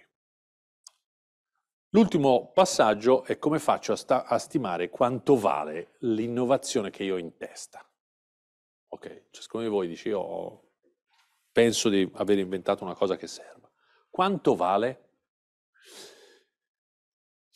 Allora, ci sono degli elementi che hanno a che fare, io non vi dico quanto vale perché non lo sapremo mai quanto vale, finché non vai sul mercato e provi a venderlo. Eh? A me è capitato, ho negoziato tanti brevetti ormai molti anni fa, ma negoziavo veramente tanti brevetti che vengono dalla ricerca e trovi delle sorprese sempre, perché ti sembra che sia una roba fantastica e poi scopri che nessuno ci mette una lira sopra. Okay? Uh, allora, ci sono alcuni elementi che ne caratterizzano il potenziale valore, perlomeno in scala, eh, in ordine di valore. Per esempio, la dimostrabilità del fatto che funziona. Tu hai brevettato una roba, funziona? Guarda, non è semplice sempre essere in grado di dimostrare che funziona. Eh? Allora, non c'è per esempio nessuna evidenza che funzioni. Cioè io ho inventato una roba, ma non sono in grado di, no? mi ricordo un professore del Politecnico che venne da me per aveva inventato dei, dei sistemi di ruote, le chiamo ruote, ma non erano ruote, per una, un, un, robot che doveva camminare sulla superficie di Marte. Eh, voleva venderlo alla NASA. Ecco, chiaramente non l'aveva mai provato in vita sua, perché la superficie di Marte bisogna andare su Marte a provarlo. Come fai a dimostrare che funziona? Eh, dici, ma è evidente? No. Uh, quindi nessuna evidenza. È evidente, è evidente, cioè hanno inventato una roba la cui forma rende evidente la funzionalità, quindi può essere evidente. Ho fatto dei modelli e delle simulazioni, quindi ho, ti faccio vedere che funziona, o addirittura ho dei, proto- dei prototipi e l'ho sperimentato. Boh, te lo faccio, te lo do, provalo te, no? È chiaro che questo qui, che soprattutto se funziona, vale di più di questo, a parità, perché riduce il rischio. È sempre il rischio il nostro, il nostro target di funzionamento. C'è del know-how associato? Cioè, oltre ad aver inventata sta roba, io so come funziona, te la so migliorare, conosco bene il settore, guarda, vuoi che faccia una cosa diversa? Te... Eh, no, queste robe qui. Allora, c'è del nuovo associato? Non c'è. c'è. Ci sono dei prototipi tecnologici, ci sono un fase di, di ingegnerizzazione, è chiaro che anche questo aumenta il valore. Uh, quant'è il time to market? Non è prevedibile, perché magari è completamente nuovo, è lungo perché è lunga la fase di sviluppo, è breve perché, perché incrementa le fasce. No? Anche questo, andando in giù, riduce il rischio e quindi aumenta il valore. Quindi il valore non è legato al valore del prodotto finale, anche se è quello che ci piacerebbe pensare. È legato al rischio che ci si mette sopra per arrivare al prodotto finale. Dopodiché si può dire, guarda, io te lo, lo, lo vendo in un'ipotesi di valore finale, che tu mi darai solo se raggiungerai quel risultato. Però il tuo investimento di oggi è talmente alto rischio che quasi non mi dai nulla per svilupparlo. Sono delle condizioni al contorno, per esempio il mercato di riferimento. Io sto sviluppando un, un oggetto che va sul mercato, che so io, dei, oh, de, delle bottiglie, vendo, voglio costruire bottiglie d'acqua vuote, la, il contenitore. Il mio mercato di riferimento è quello lì allora io dico, quali sono i prodotti in competizione? Devo conoscere se il mio prodotto è migliore di questi, per qualche motivo, perché costa di meno, perché inquina di meno, perché che ne so, qualcosa. Uh, chi sono i produttori e i distributori? Cosa vuol dire questo? Vuol dire, ma se io vado sul mercato con questa bottiglietta, quante bottigliette si vendono al, giorno, al mondo in un anno? Supponiamo che se ne vendano, non so, 10 miliardi. Con il mio nuovo prodotto, che percentuale porto a casa di questi 10 miliardi? Cioè non è che aumentano le vendite di bottigliette, devo fregare qualcun altro. Ecco, siamo sicuri che se io metto su una nuova bottiglietta qualcuno perde delle quote di mercato perché le prendo io? Cioè, eh, cerchiamo di capire, no? Questo è un po' il tema. Quindi chi sono i produttori e i distributori? Come riesco a entrare a questo qui? Qual è le, la, l'aspettativa di innovazione? Ma c'è qualcuno che compra l'acqua minerale perché la bottiglietta mia è innovativa? Domandiamocelo, probabilmente sì. Però sì, io posso fare la bottiglietta più innovativa di, del mondo, ma se uno compra l'acqua minerale per il, contenu- per il contenuto e non per il contenitore, le politiche dei prezzi, ecco, tutte queste cose noi non ne teniamo in conto quando l'invenzione ci piace, ma è così. L'obsolescenza. Qui c'è il tema della, della, dell'obsolescenza della tecnologia sul mercato. Ora, nel caso del farmaco, probabilmente è più difficile, l'obsolescenza è lunga, poi entrano fuori i, gli equivalenti, c'è tutta una serie di questioni, ma in molti, in molti oggetti le, le, l'obsolescenza è rapidissima. Insomma, ora tornando al cellulare, pensate all'obsolescenza di questi oggetti, che vanno perfettamente anche quando sono obsoleti, eh?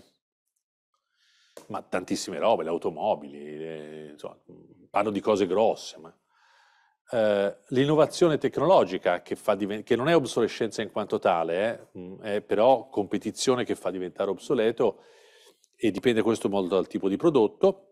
Eh, e poi in ultimo eh, il tema della proprietà intellettuale su cui passerò brevemente nel, nei tre quarti d'ora che ci mancano.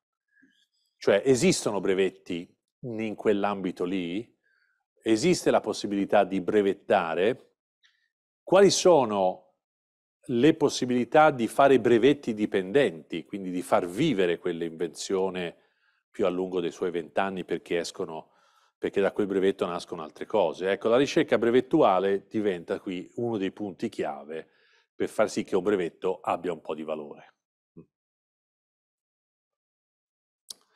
Allora, eh, ricerca, sviluppo e applicazioni, l'ultimo eh, passaggio su questo, dice, dice che mm, breve, la ricerca, nuova conoscenza, l'ho già detto, pubblicazioni scientifiche, nuove soluzioni. Questo è il mondo della ricerca. Poi abbiamo che le nuove soluzioni, quando sono invenzioni, si possono brevettare, quindi l'appropriazione della proprietà.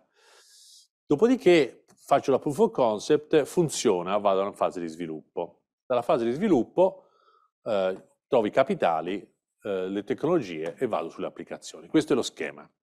Abbiamo detto che qui c'è tutta la parte di rischio. Nella ricerca biomedica, e qui research, ci scrivo research in medicine, c'è un grosso vantaggio in medicine, eh, in medicine, e cioè che normalmente la proof of concept e il testing si fa nella ricerca stessa. Cioè, la ricerca clinica è una ricerca in cui c'è la proof of concept. Mentre in fisica questo non c'è perché nessuno ha poi l'oggetto da costruire in chimica. Nella ricerca clinica tu hai il malato su cui, per esempio, gli IRCS fanno ricerca clinica. Quindi il, il medico non è solamente lo scienziato, sempre che lo sia, che inventa le robe, ma è anche quello che è in grado di trattarle e di usarle, perché integra queste due funzioni. Ribadisco, non è sempre così, eh, però in generale in un ambiente clinico questo è. Stiamo lavorando molto con gli IRCS per, per spiegare questo, questo, concetto, per far capire che hanno un privilegio naturale, no? E uno, guardate, a livello universitario è l'unica categoria di professore universitario che naturalmente nel fare il professore universitario fa anche il mestiere. Ok, l'avvocato deve andare a tempo determinato se vuol fare il, il, l'avvocato, l'ingegnere deve, deve mettersi... Invece il medico di mestiere fa il professore universitario, il ricercatore e il medico. Quindi questo è un aspetto assolutamente unico che va in qualche modo però elaborato. Questi sono dei dati del 2000, sono riferiti all'anno 2020, in effetti quelli dell'anno 2021 l'ho, trovati ieri, sono un po' diversi, ma insomma non mi interessa questo, la diversità, non mi interessa il dato, mi interessa la tipologia di dato. Questo è European Patent Office, ufficio brevetti europeo, sono i dati del, appunto del 2020, quindi sono dati relativi ai brevetti depositati al brevet, all'ufficio brevetti depositati, di cui domanda è andata all'ufficio brevetti europeo da tutto il mondo ovviamente, perché chiunque può fare domanda. E guardate, cosa interessante è che questi sono i tre, i tre ambiti, medical technology, pharmaceutical e biotechnology, e sono nel 2020 erano quelli top, perché questo aveva il più alto numero di brevetti depositati, settore medical Technology. Eh, questo 10.2 aumento e 6.3 sono quelli che sono cresciuti di più, perché guardate questo, questo è cresciuto dell'1%. Certo, digital communication comunque. Eh. Quindi c'è una, una ricerca che sta producendo brevetti nel settore life sciences in generale, che è al, a livello numero uno in Europa. Questi sono 2020 Medical Technology, brevetti depositati in Europa. Eh.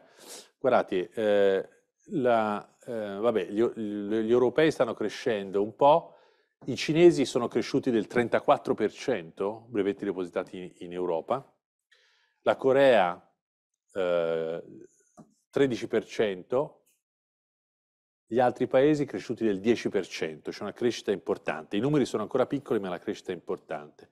Il top applicant è Johnson Johnson, seguito da Medtronic, quindi americani, e poi da Boston Scientific e quant'altro. Questi sono pharmaceutical, qui di nuovo noi siamo, eh, qui siamo in testa, dal punto di vista farmaco l'Europa va forte, 15% di crescita contro il 13% degli Stati Uniti, abbiamo il più alto numero di brevetti, qui per esempio la Cina, la Cina non c'è o c'è molto poco. Eh, e questo è biotechnology, di nuovo abbiamo eh, eh, gli stati europei che vanno forte, qui la Cina è cresciuta del 75% eh? e la Corea del 31%. Quindi c'è anche un tema di competizione internazionale, però il top applicant è Hoffman La Roche, quindi società svizzera che non è proprio europea in senso stretto, ma insomma.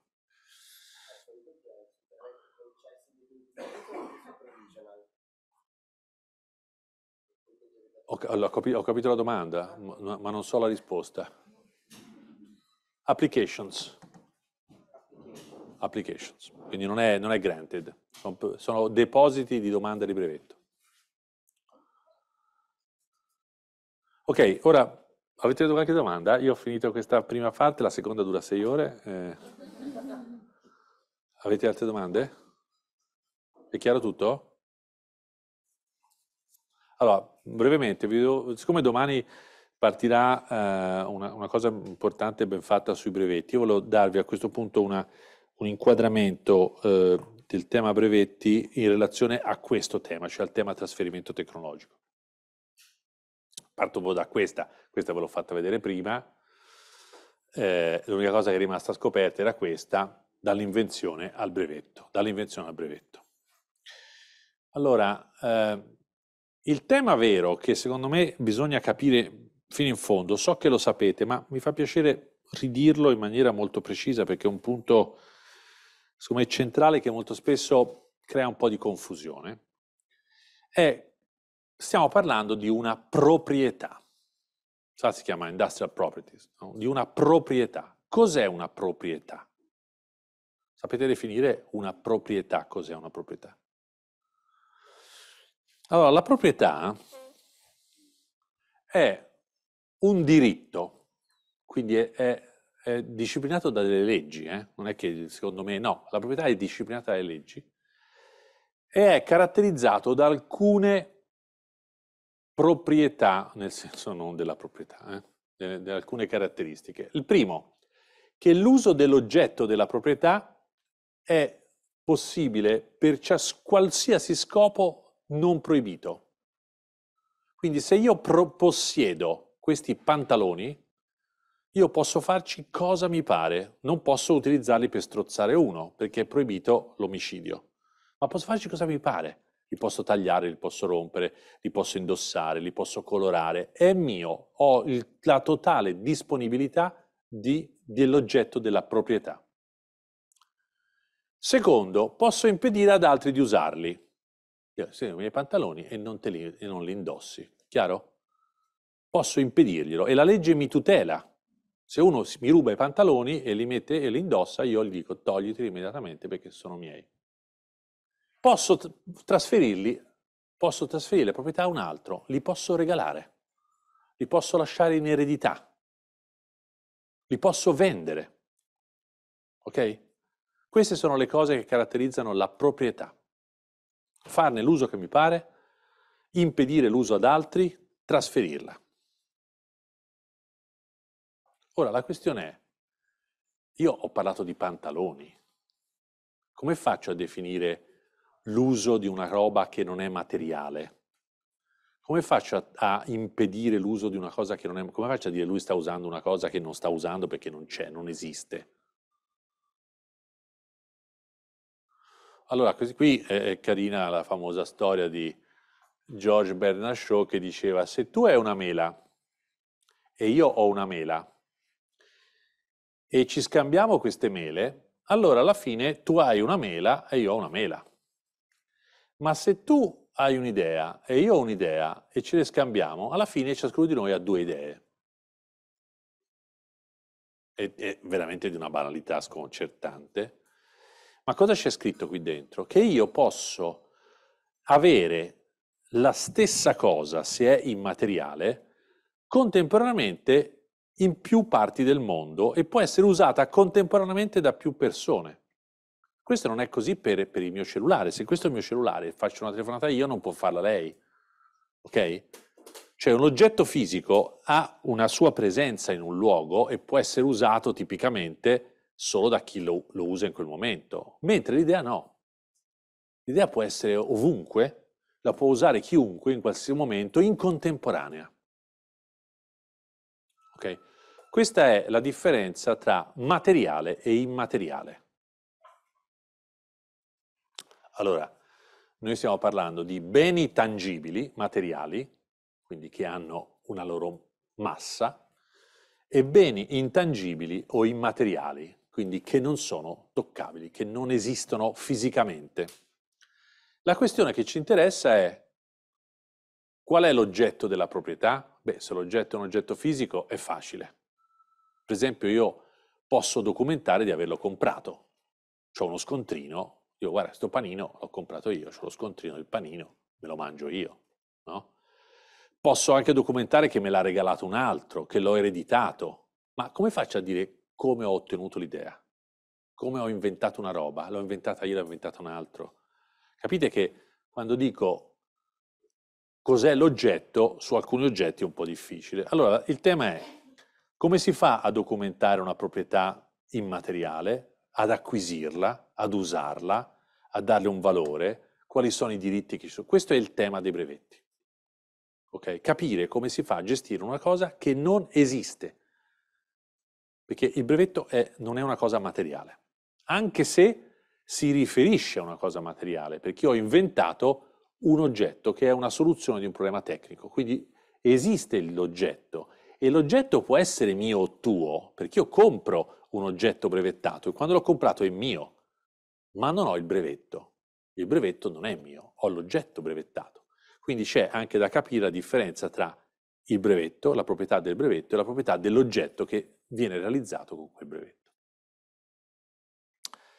Ovviamente su ogni, su ogni, prodotto ci possono essere peraltro, perché non è il prodotto, no, ma è tutto ciò che sta come invenzioni dentro un prodotto. Questo telefono Nokia, ci sono trademarks, trademarks sta per, per marchi, c'è il marchio Nokia, c'è il marchio del prodotto che è il 280, c'è lo start tone, cioè i marchi possono essere anche, anche sonori, quindi c'è quando l'accendi fa tin tin tin, ecco lì è, è un trademark eh, ci sono i copyright, i copyright sono sulle robe scritte, quindi il, il manuale, il software, ci sono brevetti perché sono eh, il modo di processare i dati, il sistema operativo, eccetera, ci sono design, la forma, la disposizione dei tasti, ci sono trade secret, può darsi che ci sia qualcosa che non è stato divulgato e che è un segreto che fa funzionare qualcosa e non ti dico cos'è. Quindi attenzione che normalmente non è che dobbiamo pensare a un brevetto o un prodotto, dobbiamo pensare a un brevetto e una soluzione che magari migliora un prodotto che di per sé funziona comunque. IP, Intellectual Properties, abbiamo detto che riguarda cose immateriali, ma le cose immateriali non sono solo invenzioni, eh? non sono solo invenzioni, sono tante cose. Per esempio, il brevetto protegge le invenzioni, lasciamo perdere il modello di Il copyright pro, proget, eh, protegge creazioni artistiche, cioè io ho fatto una fotografia, ho il copyright di quella fotografia, non è un'invenzione, è una realizzazione artistica, una canzone è una realizzazione artistica, una poesia è una realizzazione artistica. Uh, giusto per, per, mm, domani forse vi diranno anche questo, ma giusto per, per, eh, per farvi capire cosa vuol dire proprietà. Ora, immagino che molti di voi abbiano delle pubblicazioni scientifiche. Eh? che sono uscite su delle riviste, su dei giornali. Allora, quando voi mandate una pubblicazione a un giornale, vi fanno firmare questo, questo uh, copyright uh, transfer, no? che dice Journal Publish, questo è quello della Elsevier se non sbaglio, Journal Publishing Agreement, uh, Journal Copyright Owner Name, quindi Journal of Biomechanics, che è il copyright owner. Cosa vuol dire questa roba? Vuol dire che quando mandate l'articolo voi dite chi siete, qual è l'articolo, bla bla bla, e poi firmate un foglio in cui si dice I hereby assign to the copyright owner, quindi al giornale, the copyright in the manuscript identified above. Cioè dite io do, cedo il copyright di questo articolo al giornale. L'avete fatto immagino in tanti. Perché glielo cedete? La risposta è una sola, perché ce l'avete. Perché voi vi siete domandati, ma io sto cedendo una proprietà, ma ce l'ho? Ma se uno dicesse, scusami per favore, mi vendi questa bottiglietta? Dici, guarda, non è mia, cioè non è che te la posso vendere. Ma perché vendi, cedi gratuitamente una pubblicazione? Dicendo che è tua, evidentemente. Cioè, non so se avete chiaro questo, non, non, sembra banale, ma non è banalissimo. Cioè voi state firmando un contratto di cessione di una proprietà intellettuale avendo l'ipotesi che sia vostra, perché sennò state vendendo fuffa, ovvero state commettendo un reato, vendete una roba che non è vostra. Siete sicuri che sia vostra? Faccio questa domanda. Okay. eh, ok? No, questo deve essere molto chiaro. Allora, questo è un presupposto per cui voi avete una proprietà. Come l'avete acquisita, scusate? Perché una proprietà che si cede vuol dire che l'hai acquisita.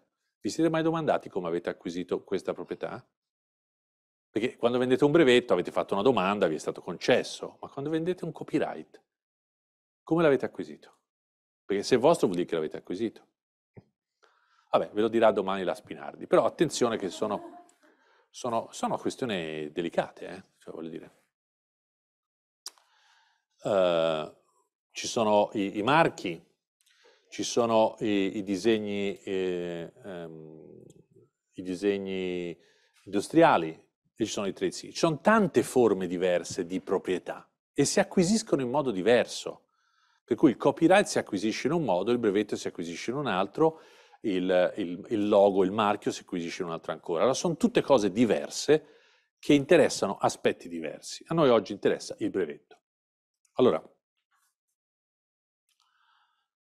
la domanda è, qual è l'oggetto della proprietà? Cos'è il diritto legale? Che diritto acquisisco quando io, quando io cedo il copyright a Elsevier? Che cosa gli cedo? Cioè io posso continuare a leggere quella roba che ho scritto, certo che posso continuare a leggerla. Quindi che diritto gli cedo?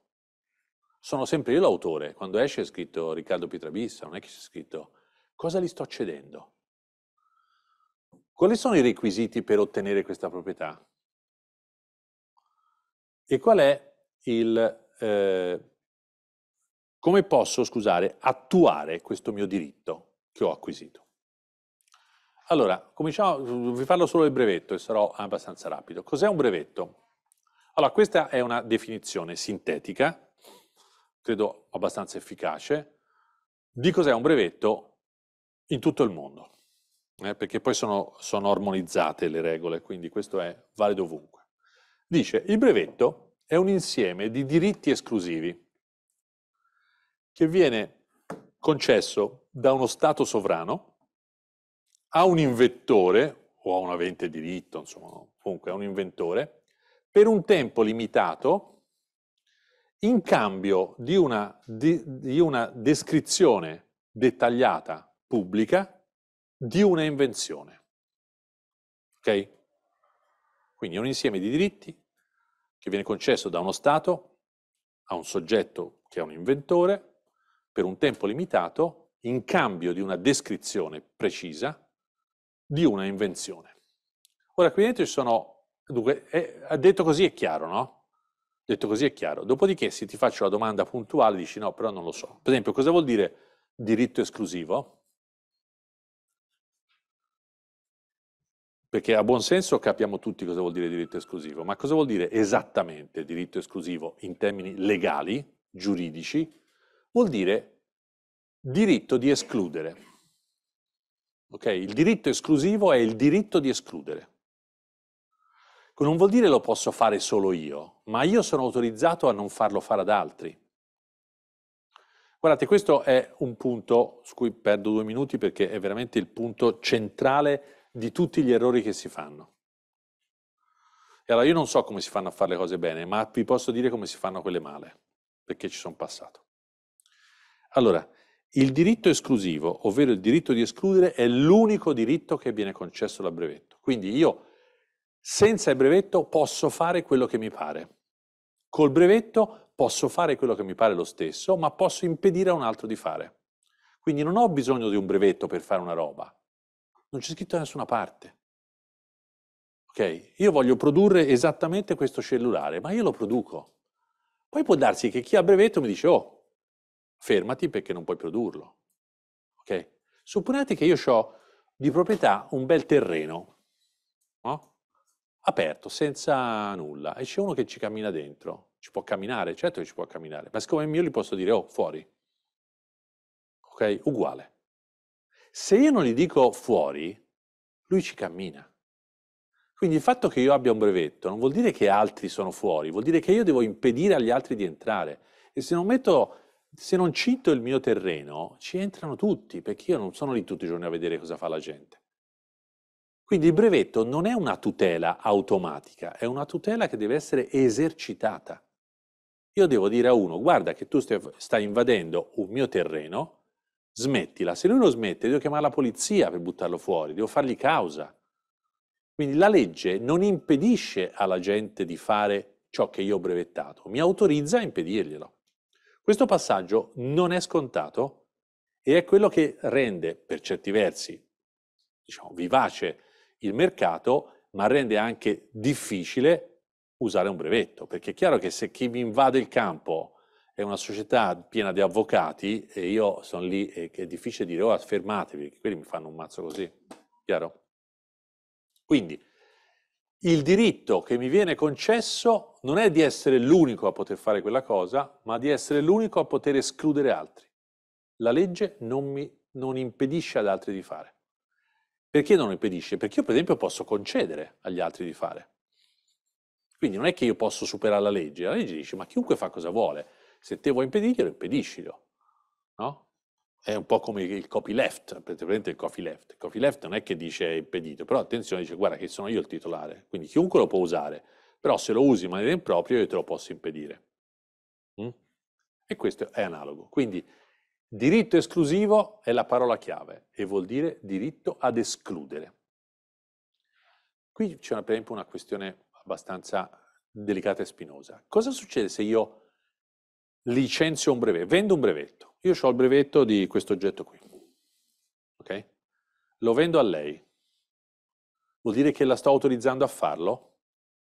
No, la sto autorizzando a impedire ad altri. Ok? Quindi quando si dice ti dai una licenza di brevetto, non mi stai dicendo mi stai autorizzando a farlo, mi stai autorizzando a impedire. Per autorizzare a fare, tu puoi semplicemente fare un accordo che io non te lo impedisco. Non hai bisogno del brevetto, hai bisogno di garantirti che io non te lo impedisca, che è un'altra cosa. Non ti sto licenziando il brevetto, ti sto autorizzando a fare una cosa, così come, scusate, un appartamento. Io sono proprietario di un appartamento. Posso impedire a chiunque di entrare? È mio. Posso lasciare la porta aperta, dico stasera faccio una festa, entra chi, tutti quelli che passano? Sì. Qualcuno glielo impedisce la polizia? No. Se entra uno che non mi va bene, chiamo la polizia e lo faccio buttare fuori. Uguale. Se io lo affitto questo brevetto, questo, questa casa, la affitto, quello che affitta può farci entrare chi gli pare. E io no. Do a lui la possibilità di far entrare chi vuole entrare. Non sto dicendo che finalmente puoi entrare, lui poteva entrare anche prima, è un amico mio.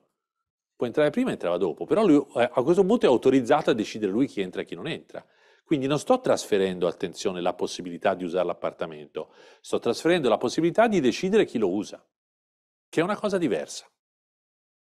Mm, sì. Ehm, in teoria, ad esempio, se io sono, se io brevetto come studente di dottorato, la proprietà intellettuale in realtà non è esattamente totalmente mia, è anche dell'università. Sì, Quindi, dipende. Mm. Cioè, ad esempio, quindi anche l'università potrebbe decidere, potrebbe decidere nei, di come utilizzare il brevetto, perché è anche sua proprietà intellettuale. Allora, qui eh, il tema è, che dice un po' più complicato, eh, ti, mh, allora vado avanti eh, quando arriviamo qui. Ok, perfetto. No, perché... Eh, sì. Allora, granted vuol dire che eh, viene concesso, quindi c'è una legge che disciplina queste regole, quindi non è una cosa che si decide, no, una, c'è una legge, si chiama Codice della proprietà industriale, ve lo presenterà domani la, la dottoressa Spinardi. Questo è uno Stato, quindi vuol dire che se ho un brevetto in Italia, vale solo in Italia, eh? non esiste un brevetto multinazionale, esiste un brevetto in Italia, un brevetto in Francia, un brevetto negli Stati Uniti, quindi il brevetto è tutelato da una nazione. Questo perché? Perché se tu vuoi far causa a uno devi fargliela in una nazione, non puoi dire faccio causa a un, a un polacco in Francia per un brevetto, non ha senso, il giudice dice non mia, non è mia competenza territoriale. Quindi siccome il brevetto presuppone un intervento di, una, di, una, eh, di uno Stato, il brevetto vale solo in quello Stato in cui è depositato. C'è un'eccezione ma non ancora operativa, che è il brevetto europeo eh, anzi brevetto comunitario. Oh, veniamo alla domanda. Di chi è la proprietà del brevetto? Ovvero, cosa vuol dire il proprietario? Quello che può impedire. Cioè il, brevetto, il proprietario è solamente quello che può impedire. Allora, di chi è la proprietà del brevetto? Guardate, il brevetto nasce sempre nella testa di un inventore, perché non esiste l'oggetto, esiste uno che ah, ho avuto questa idea, magari l'ha avuta insieme, lavoravamo insieme, ci è venuta insieme, quello che ti pare, però è sempre nella testa di persone, non esiste nella testa di un'impresa o di un ente o di un'istituzione, è sempre nella testa delle persone. Quindi il brevetto, il brevetto come si dice, nasce nell'inventore, che è una persona fisica. L'inventore può essere solo una o più persone fisiche. Dopodiché la domanda è, ma l'inventore ha il diritto al brevetto? Cioè alla, ha il diritto a escludere altri lui? Dipende. Allora, se l'inversione è una persona fisica autonoma e l'ha fatto nell'ambito della sua attività, è suo.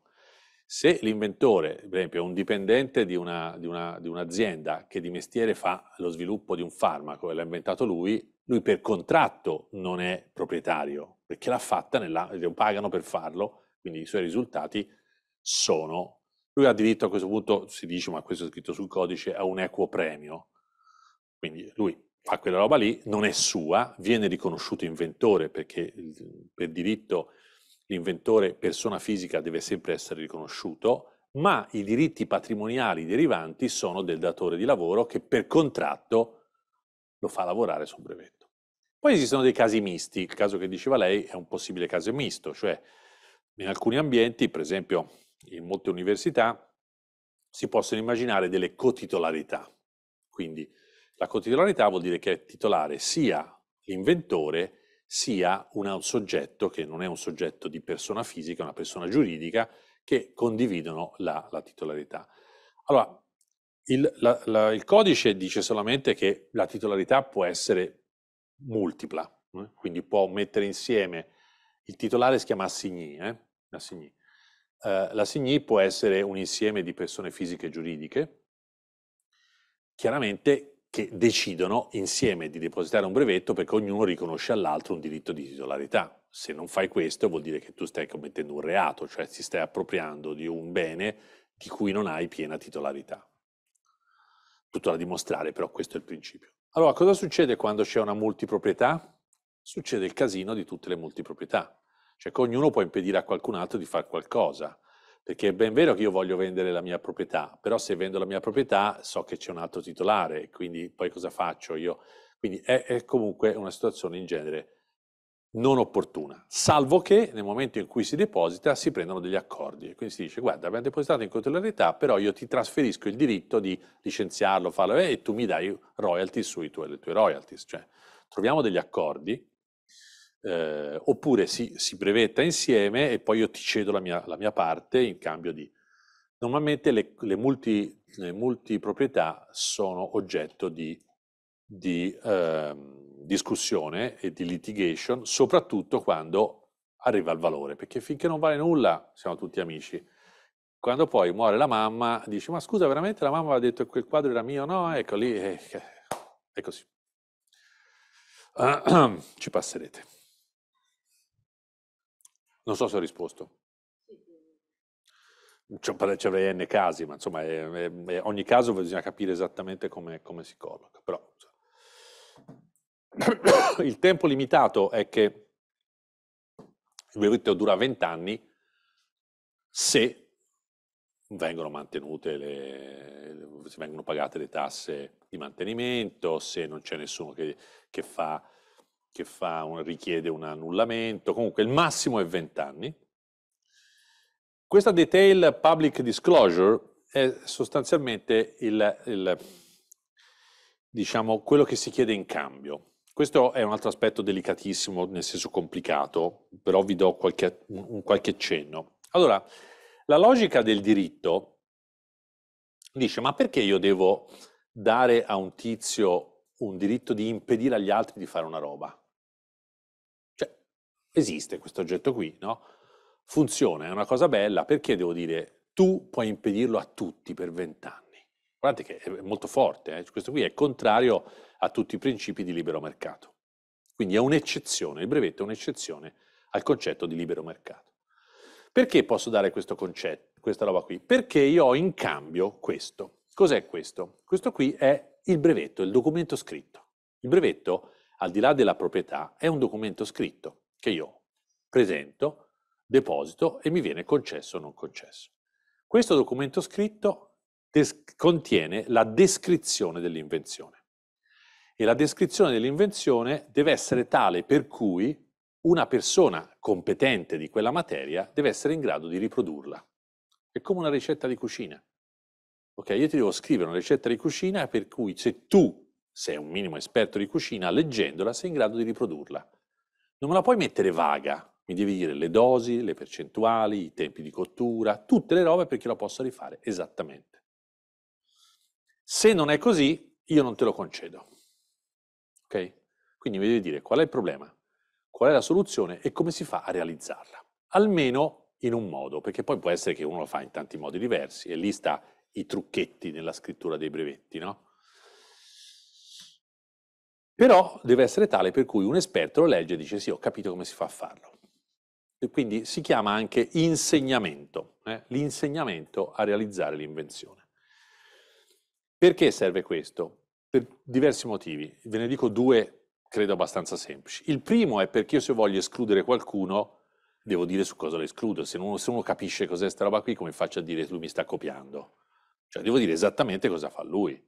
Posso dire una torta, devo dire la sacher. Quindi dico una torta, allora sono buoni tutti. No, mi dici la torta, ci ha messo la marmellata?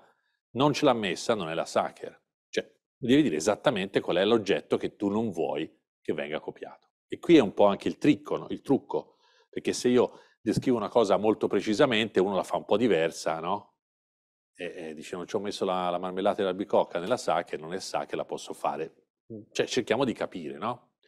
È la marmellata che identifica la Sacher? Vediamo, no? Parliamo. Quindi la descrizione deve essere precisa, perché se non è precisa io non so che cosa, che cosa, lui, cosa devo escludere. Numero uno. Numero, e questo, diciamo, è un po' a tutela delle parti. L'altra cosa è perché io devo consentire al resto del mondo di andare avanti.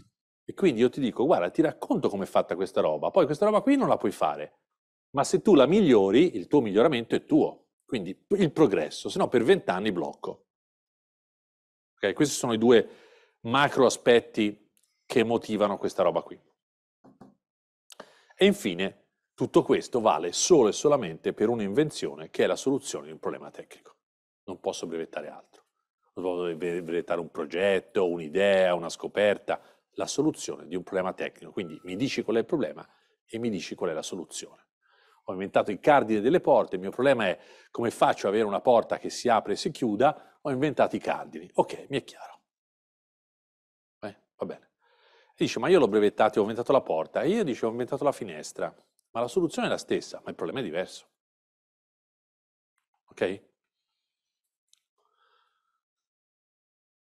Allora, eh, dieci minuti ciò. Allora, i temi sono uno ha, ha, fatto la sua invenzione, voi state a fare ricerca, fate ricerca, avete trovato la soluzione, la soluzione avete trovato è il problema tecnico, avete una possibile invenzione. Ho inventato il cardine della porta. Bravo. La domanda è, è utile? Migliora qualcosa? Chi può essere interessato a sviluppare il cardine della porta? Qual è il valore potenziale? Esistono delle alternative? Domandiamoci queste cose innanzitutto. Perché se queste, le risposte sono sì è utile, migliora molto quello che esiste, c'è un sacco di gente interessata, può valere abbastanza, in questo momento vedo pochissime alternative, all'invenzione oh, è un'invenzione forte. Se invece dice, guarda, sì, ho inventato invece di mettercene due, ce ne metti tre perché la porta è pesante, l'ho fatta col vetro doppio, ho messo, ho invento di metterci tre, eh, guarda. Dopodiché dico, l'invenzione la posso brevettare? Ma guardiamo cosa serve il brevetto, cioè mi serve un brevetto, è utile il brevetto? Cosa vuol dire utile il brevetto? Vuol dire che c'è qualcuno che lo vuol fare e io glielo voglio impedire? Perché posso usarlo solo per questo. Quindi io sono in grado e posso impedire a qualcuno di, di sviluppare la mia invenzione? Se lo posso fare, allora è utile avere un brevetto, altrimenti no. C'è un'altra roba per avere un brevetto. Impedire che lo brevetti qualcun altro, per esempio.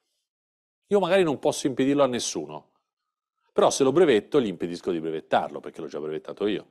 Quindi se non altro apro il mercato, non ho un solo... Che uso voglio fare del brevetto? Lo voglio usare per impedire? Lo voglio usare per concedere il diritto di impedire ad altri? Lo voglio vendere? Lo voglio distribuire gratuitamente? Devo capire cosa ci voglio fare. Perché molti di noi dicono, ah, facciamo un brevetto, ma per farci cosa? Per fare litigation con una multinazionale? No, dobbiamo capire cosa serve, perché a seconda di cosa, di cosa serve lo scrivo in un modo piuttosto che in un altro, eh, per esempio. Chi sono i possibili eh, utilizzatori? Dove sono? Quindi in che paesi brevetto? Dove sono? Chi sono? Lo brevetto qui, lo brevetto là? Perché lo brevetto in Italia per primo? Cioè, facciamoci qualche domanda.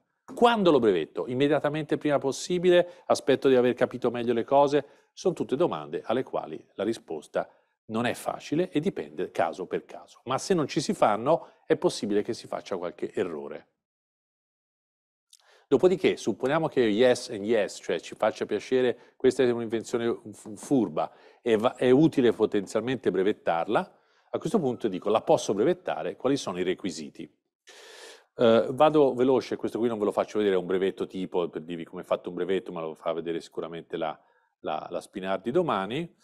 Uh, vado invece brevemente ai requisiti, giusto per... Ah, questo è un esempio carino, per esempio. Non so come si fa a tornare indietro, torna un po' indietro. Eh, allora,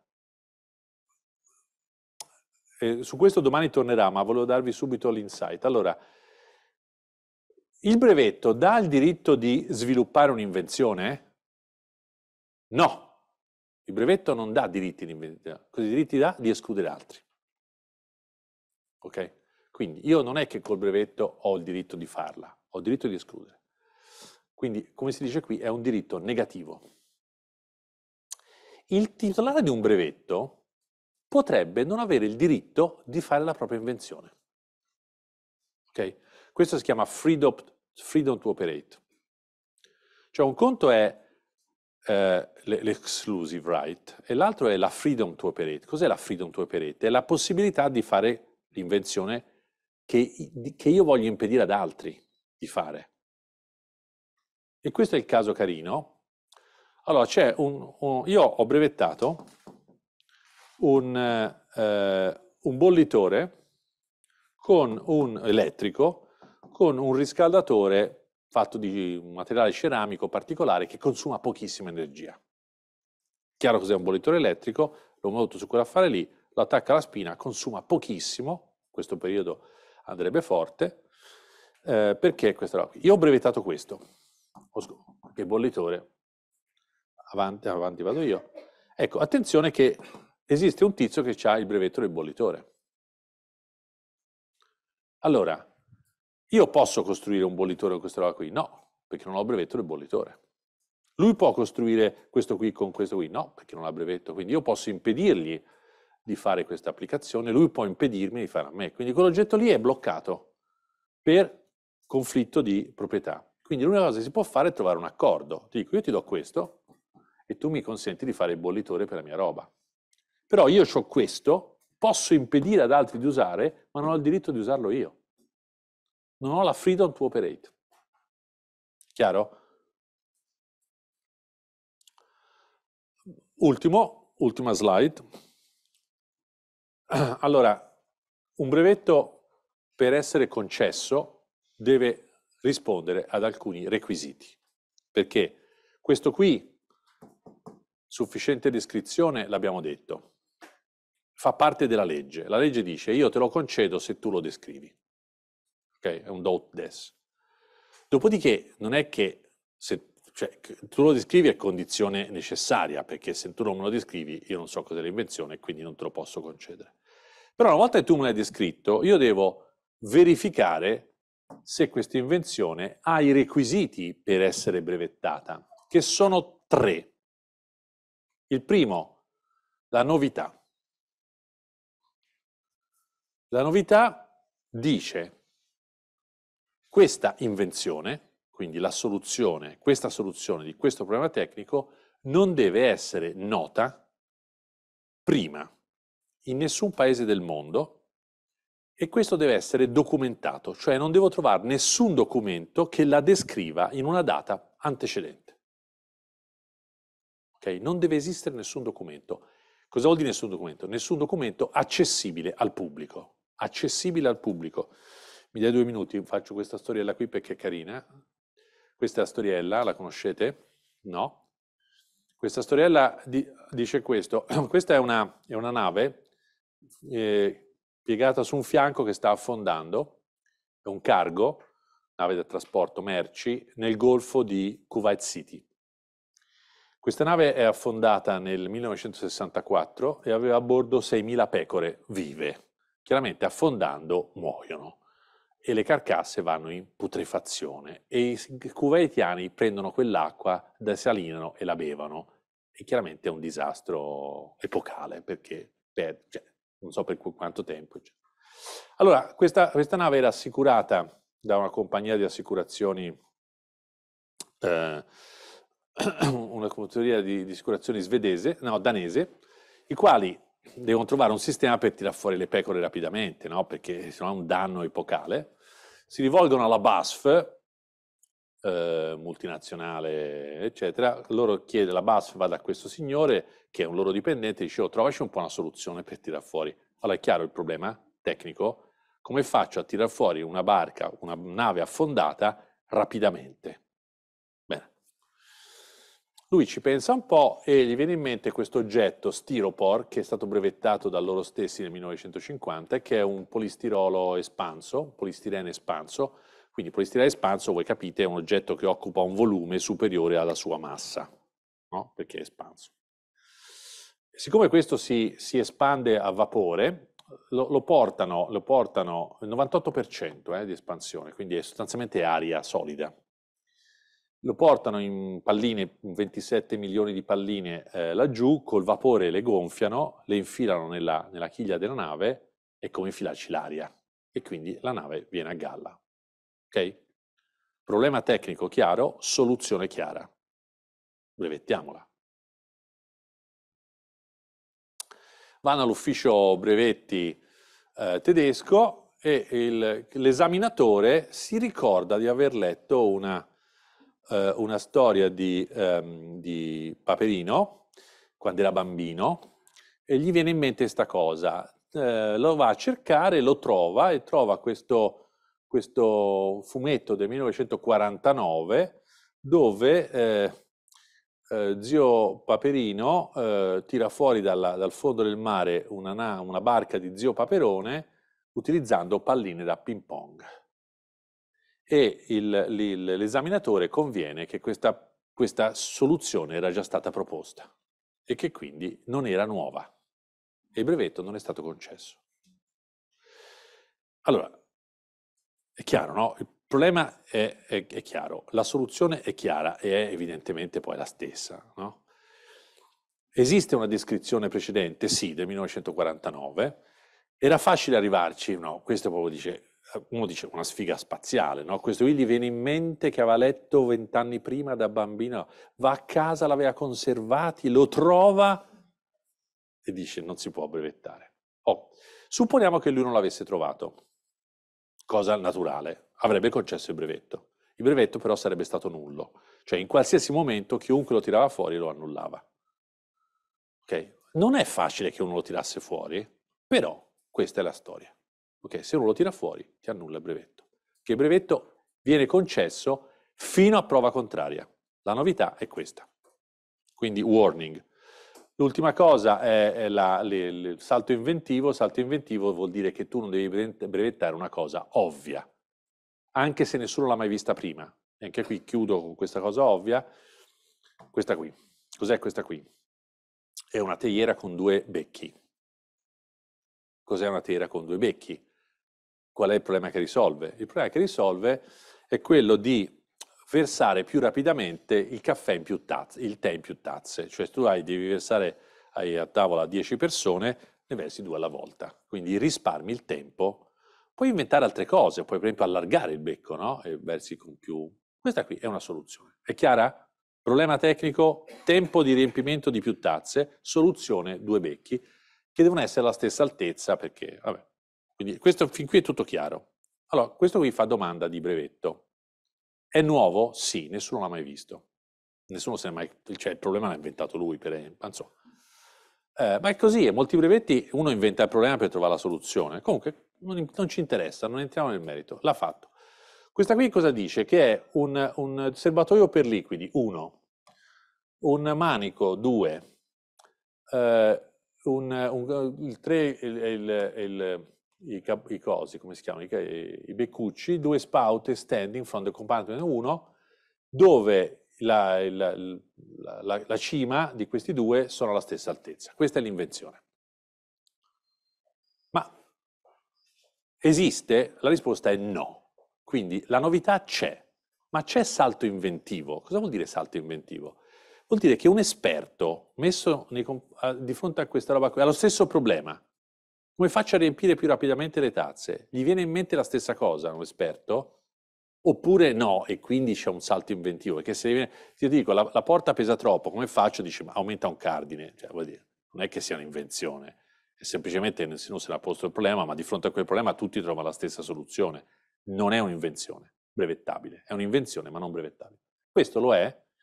Allora guardate, se uno dice ma cosa esiste? Esiste la teiera con uno, esiste sì, quindi io posso partire da lì, bene.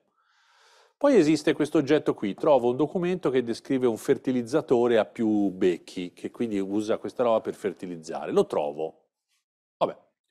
Poi esiste le macchine del caffè dei bar, che tutte hanno il doppio becco, no? Non vi viene in mente probabilmente, però c'è, l'esperto lo sa. E poi esiste questa roba qui, l'oliera, l'oliera scetiera che ha il doppio becco, sono tutte cose che esistono, io non so, non voglio dire utile o non utile. Allora la domanda è, ma se io vedo questo e, e ho questa soluzione qui, di fronte a una persona esperta, ma incapace di, di avere fantasia, e gli dico, amico, tu che sei un esperto di teiere, e ti faccio vedere queste robe qui, e voglio aumentare la rapidità di riempimento delle tazze con la teiera, cosa ti viene in mente? Ti viene in mente quella roba lì? Se lui dice sì, vuol dire che non c'è salto inventivo. Se dice no, vuol dire che c'è salto inventivo. Questa roba qui è soggettiva, lo decide uno, esperto.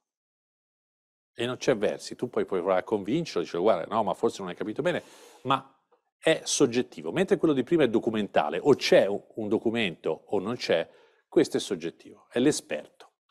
E l'esperto è l'esaminatore dell'ufficio brevetti, che dice, ma scusami, è una banalità, questa vi la conosco, questi vi li conosco, metto insieme, per me è banale. Quell'altro dice no, aspetta, perché questo è il caffè, tetro. Questo è il concetto di ultimo, ultimo eh, requisito è che sia un prodotto industrializzabile. Non posso brevettare una roba che non è industrializzabile. Un edificio non lo posso brevettare, perché uno non è industrializzabile, non è un processo produttivo e quant'altro. Io direi che chiudiamo qui. Mm, mi sembra di aver detto abbastanza cose. Non avete, posso fermarmi ancora un attimo se avete qualche curiosità o domanda? Sì, prego. Sì, chiedo scusa, sono andato un po' lungo, lo so, ma mi faccio prendere io poi. Ma quindi il salto inventivo può anche avere fantasia applicare lo stesso metodo ma a un problema diverso? Sì, assolutamente sì. Ti sì, faccio però... un esempio? Ma no, mi sembra una roba assurda, nel senso, cioè io... No, ti faccio un esempio. No, no, no, ma ci credo per carità, però no, no, ti faccio uno mi viene a rompere le scatole sul doppio beccuccio, su Paperino, io uso la stessa cosa ma trovo, perché ho più fantasia dico ma questo lo applichi di là e ci faccio un brevetto. Ti faccio un esempio eh, reale. C'è un tizio che ha inventato un carburatore. Sai cos'è un carburatore? È un miscelatore di un liquido e di un gas che si usa normalmente nei motori a combustione interna, ok? Quando tu apri gas entra più aria entra più car- e carbura. Carbura vuol dire che trova la miscela giusta di liquido, di carburante di, e, di, e di aria per quella roba lì.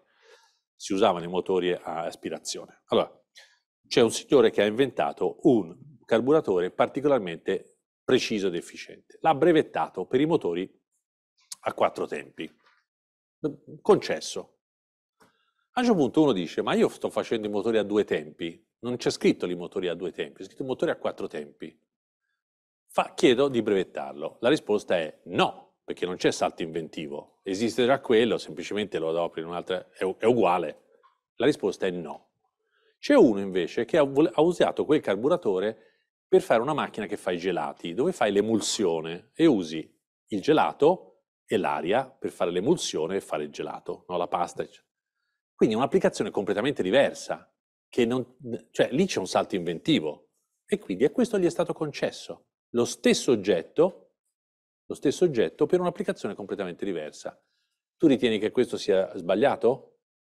Ti ho fatto un caso un po' eccezionale, però questo è il Viagra che ti dicevo prima, no? per motivi cardio piuttosto che motivi ero. Eh, eh, cioè.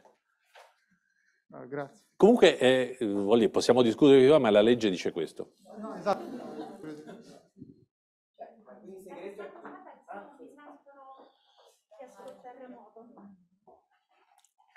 Il segreto è puntare agli eh, uffici brevetti di paesi poco inventivi o con, po- cioè, con uh, l'esaminatore poco, ide- poco fantasioso. Cioè, Assolutamente no. Che non ha letto Topolino, che non, ha, no, che non legge la letteratura. No. Esattamente il contrario.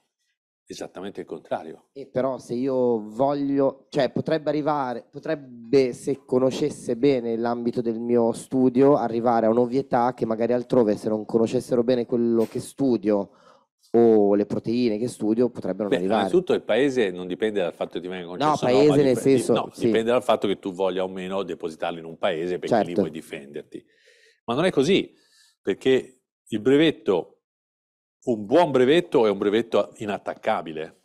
Un brevetto attaccabile è un brevetto che non, non, cioè, non vale nulla, soprattutto se devi allora, se lo usi te, fatti tuoi, ma se devi venderlo, è come uno che compra una casa con i difetti, con le robe, dice guarda me l'hanno passata anche se l'altezza non è buona, poi non la vendi, non te la compra nessuno. Quindi il brevetto deve essere di qualità, un brevetto schifoso no. Anche qui vi racconto una piccola storiella mm, curiosa. Eh, questo è successo due, due multinazionali, ora non mi ricordo il caso, ma poteva essere conto Samsung e, e Philips, due grosse, grosse, grosse. A un certo punto una, una delle due eh, brevetta un, una, una, roba che interessava a tutti e due. Eh, quell'altro gli fa causa, quello si difende e si viene, vengono a scoprire che questo qui, il primo, aveva depositato in tutto il mondo meno che in Giappone. Sai perché? Perché in Giappone esisteva già un brevetto scritto in giapponese che nessuno era in grado di trovare. Perché era scritto in giapponese, era rimasto solo in Giappone. Quindi in Giappone c'era, era scritto in giapponese, non era stato mai trasferito e quindi solamente uno che sa il giapponese era in grado di trovarlo. Gli, avvocati l'hanno trovato e quindi gliel'hanno annullato. E quindi quell'altro non solo ha vinto la causa, ma questi eccetera. Allora, un brevetto farlocco, anche se è farlocco perché era nascosto, è come quando tradisci la moglie, insomma, non, non, non esiste, non esiste proprio, è un concetto che mm, prima o poi ti fregano. Devi, devi assolutamente fare un brevetto di qualità. Tutte le strategie sono, salvo che non sia una roba che non venderai mai a nessuno, allora fa scrivere quello che ti pare. Ma un buon brevetto, se hai, se hai interesse a fare, deve essere un brevetto di qualità. Questo è un caso assolutamente, insomma, lo racconto perché tutti se lo ricordano, no? E quindi funziona, quel, ma, però è un caso assolutamente quasi ridicolo, insomma. Sì. Ciao, buongiorno. Ci siamo già visti noi diverse volte. Eh, ho seguito qualche corso al Politecnico. Quanto gli articoli scientifici possono ledere a novità e invenzione di un brevetto? Eh, allora, ehm, la domanda è, è, intrigante, nel senso che non c'è una risposta eh, banale perché noi continuiamo a fare un po' di confusione naturalmente, questo capita a tutti, anche a me, tra eh, la conoscenza e l'invenzione basata sulla conoscenza. Allora, normalmente negli articoli scientifici noi raccontiamo risultati scientifici, non necessariamente la loro applicazione per risolvere un problema. Questo è vero molto per la scienza, non è molto vero per la tecnologia. Allora, uno che fa il fisico eh, pubblica il lavoro sulla conoscenza di come funziona una certa roba, uno che fa l'ingegnere molto spesso pubblica invece la soluzione. Quindi non esiste a priori una risposta è così o è cos'ha. Se nella pubblicazione scientifica è eh, raccontata la soluzione tecnica che si vuole brevettare, quella pubblicazione scientifica eh, lede il mh, requisito di novità. Per cui la risposta che si dà sempre è prima deposita un brevetto e poi pubblica. Cioè qualsiasi cosa, guardate, anche una, una conferenza, qualsiasi cosa della quale rimane traccia può essere utilizzata per annullare un brevetto. Per cui, prima di fare qualsiasi cosa da cui può rimanere traccia, depositate una domanda di brevetto. Non ci vuole tanto, dipende, no, dipende, dipende dalla complessità e dipende... No, mm, beh, insomma, comunque è così, eh, ragazzi, purtroppo è così, è la legge. Sì. Sì, prima si è fatto l'esempio del farmaco, no? E, e abbiamo detto che diciamo, deve essere depositata una descrizione dettagliata, una sorta di ricetta. Immagino che per i farmaci eh, diciamo, la parola ricetta insomma, sia appropriata. Però poi, quando una volta scaduto il brevetto, tutti i genericati sono sempre diversi dalla formula originale. Perché? Non lo so, ovviamente, non lo so. Eh, però attenzione, questa cosa che, che dici, è, in effetti anche questa si presta ad alcune riflessioni, perché eh,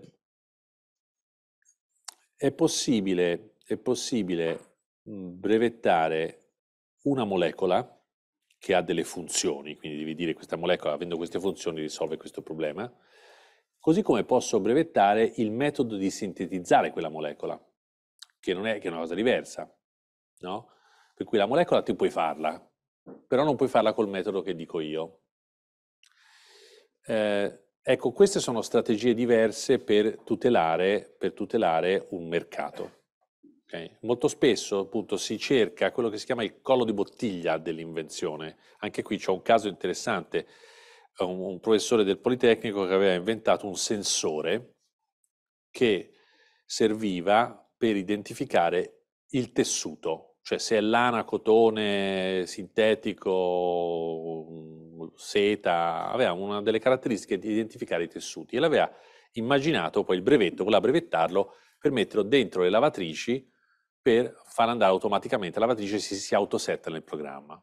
Allora, lui l'aveva sviluppato per altre robe, come ti puoi ben immaginare, però poi ha detto figata, no? Nella lavatrice, tra, tra. Siamo andati per depositare questo brevetto, non ce l'hanno concesso, perché esiste un brevetto di uno che dice se vuoi mettere un sensore nella lavatrice lo puoi mettere solo sul cestello. Aveva brevettato il posto dove mettere il sensore, per cui tu puoi avere anche il sensore ma non puoi metterlo. Ok? Allora questo è molto tricky perché lui a questo punto, no, quel tizio, blocca tutto il mondo perché ti dice dove metti il sensore, indipendentemente dal sensore. Dice, io voglio mettere un sensore lavatrice, come faccio? Perché in effetti quello ruota, non è stupida la, la domanda, no? E lui dice, ti dico come si fa a metterlo, tac, questa è la soluzione. A quel punto, se vuoi mettere il tuo sensore, devi usare la sua soluzione, e non puoi. Quindi anche lì, su, su queste robe, sono, è molto tricky la cosa, bisogna capire qual è il, mo, il motivo con cui vuoi bloccare gli altri. Molto spesso è diverso da quello che ti immagini te. Io avevo un'altra domanda qui dietro. Ehm, si riferiva all'argomento di prima, quindi no, ehm, idealmente eh, se c'è una scoperta scientifica eccezionale ma viene pubblicata e non viene brevettata, questa non può mai portare a innovazione perché nessuno investirà dei soldi se non è prove- protetta da brevetto o c'è una soluzione. Eh, parli di scoperta o parli di invenzione? Scusa perché ehm, c'è se, se, c'è qualcosa che viene pubblicata senza, sì. senza, un brevetto, quindi non so, diciamo una tecnologia sì. o un farmaco, quindi una volta che viene pubblicata, quindi sì. questa molecola, questo farmaco, nessuno può più brevettarla perché non è nuova, è già in una esatto. pubblicazione. Esatto. Quindi nessuno può nemmeno svilupparla, portarla sul mercato, perché vorrebbe dire assumersi un rischio non protetti da brevetto. Beh, eh, detto così la risposta è, sì, esattamente come dici. Eh, dopodiché, allora, sicuramente hai, hai, ammazzato gran parte del valore. Dopodiché c'è del valore anche nella realizzazione delle cose, non solo nella, nel sapere che esiste, no? eh, quindi dipende quanto è difficile realizzarla. perché l'investimento è anche nella, nella, soluzione per realizzarla, cioè vuol dire il caso della molecola è importante, se tu fai una molecola mm, e dici questa molecola fa questa roba qui, però e, e la, la, pubblichi, nessuno può più brevettarla, però solo uno sa come si fa a sintetizzarla, per esempio, no? Quindi dipende, dipende molto da cosa hai, cosa hai divulgato anticipatamente rispetto al processo che ti senti di portarlo sul mercato. Eh, ci sono alcuni temi che hanno a che fare, per esempio, con i tempi, no? uno che lo porta prima, poi conquista il mercato e può raccontarlo a tutti. Ci sono dei casi storici, la Coca-Cola è il caso no? che si dice sempre, nessuno sa come, cioè non è brevettata, ma nessuno sa come si fa a farla. Tu puoi prenderla, fai tutte le analisi che vuoi, trovi tutte le molecole che ti pare, ma nessuno è in grado di farla. È vero? Boh, non lo sa nessuno, perché è un segreto. Quando uno dice è un segreto, eh, chiaramente non puoi sapere se è vero o no, perché è un segreto. Comunque sì, se tu scrivi una roba, quella roba che scrivi, se è un'invenzione, non è, non è più brevettabile da nessuno, quindi è libera. L'hai liberata. Quando tu non, non, non, ti sai difendere con un brevetto, pubblica, almeno sei sicuro che nessuno lo brevetterà. Prego. Sì. Uh, per quanto riguarda l'aspetto di brevettare semplicemente per evitare che altri sfruttino sì. una determinata tecnologia, soprattutto nel campo del life science, io mi chiedo, non c'è un aspetto immorale in tal senso? Cioè, ad esempio, brevetto un processo semplicemente perché io sto utilizzando un approccio alternativo per trattare una determinata patologia, ma non voglio che un competitor utilizzi una tecnologia che io comunque non voglio sviluppare perché sto facendo tutt'altro. In questo modo non si ammazza un possibile approccio per un trattamento terapeutico. Quindi scusa, brevettando per impedire che altri lo brevettino? Esatto, però nel frattempo sviluppare una totale altra tecnologia, semplicemente per fare in modo che non ci siano tecnologie alternative che io non sono neanche inten- intenzionato a sviluppare per però, trattare però, quella terapia. Dunque, allora, mh, quindi però vuoi impedire ad altri che lo facciano? Sì. Cioè lo brevetti per impedire ad altri che lo facciano ma non lo faccio neanche io perché allora, voglio fare tutt'altro. non si può per legge. Esiste una clausola di salvaguardia, chiamiamola così, sui codici, che dice che eh, passato il tempo necessario per il possibile sviluppo industriale, normalmente è anche definito, ma insomma lasciamo perdere, passato il tempo necessario per il... Eh, se non c'è uno sviluppo adeguato alla possibile richiesta di mercato, tu sei obbligato a concedere licenza. Si chiama licenza obbligatoria. E la licenza obbligatoria, il valore della licenza obbligatoria viene definito da, da, da un tribunale. Quindi tu non puoi impedire se non usi. Addirittura non puoi impedire se non usi a sufficienza.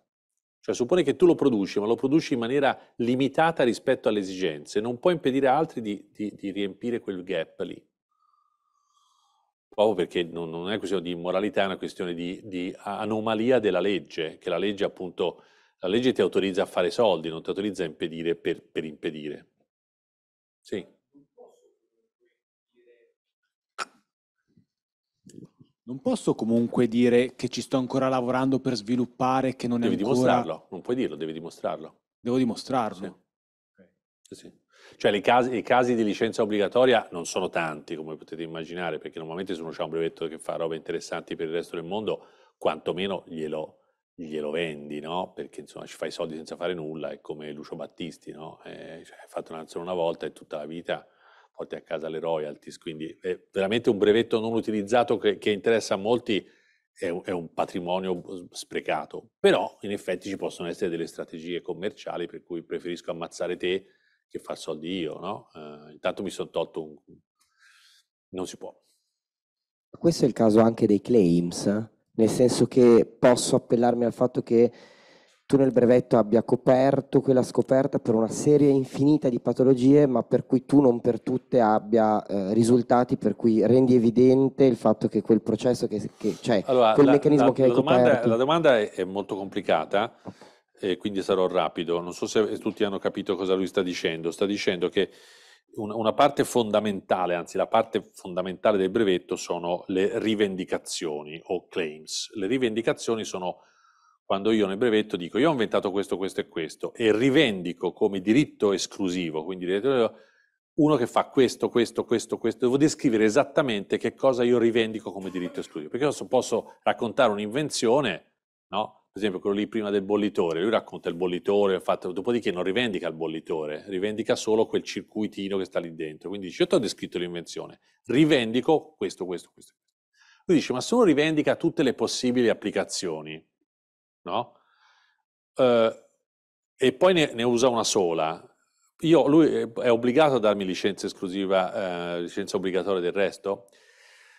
Allora, teoricamente non esiste questo caso perché un brevetto per legge può coprire una sola invenzione. Quindi non puoi avere un brevetto con più invenzioni, puoi avere un brevetto di una sola invenzione. Quindi il caso, come lo descrivi te, teoricamente non è possibile.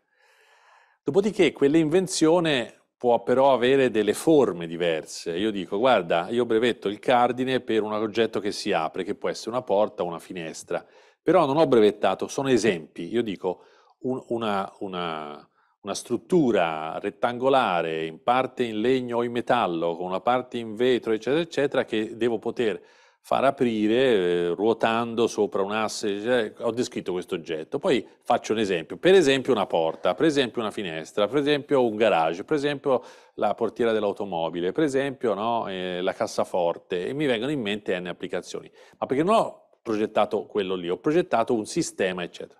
Se non ho un sistema generale e devo descriverne due, sono due brevetti. Dopodiché bisogna capire il caso puntuale, però diciamo quello che tu dici è un'ipotesi è un'ipotesi teorica, mm, diciamo, eccezionale che a me non è mai capitato, ma insomma può darsi che possa capitare. In quel caso la risposta è sì.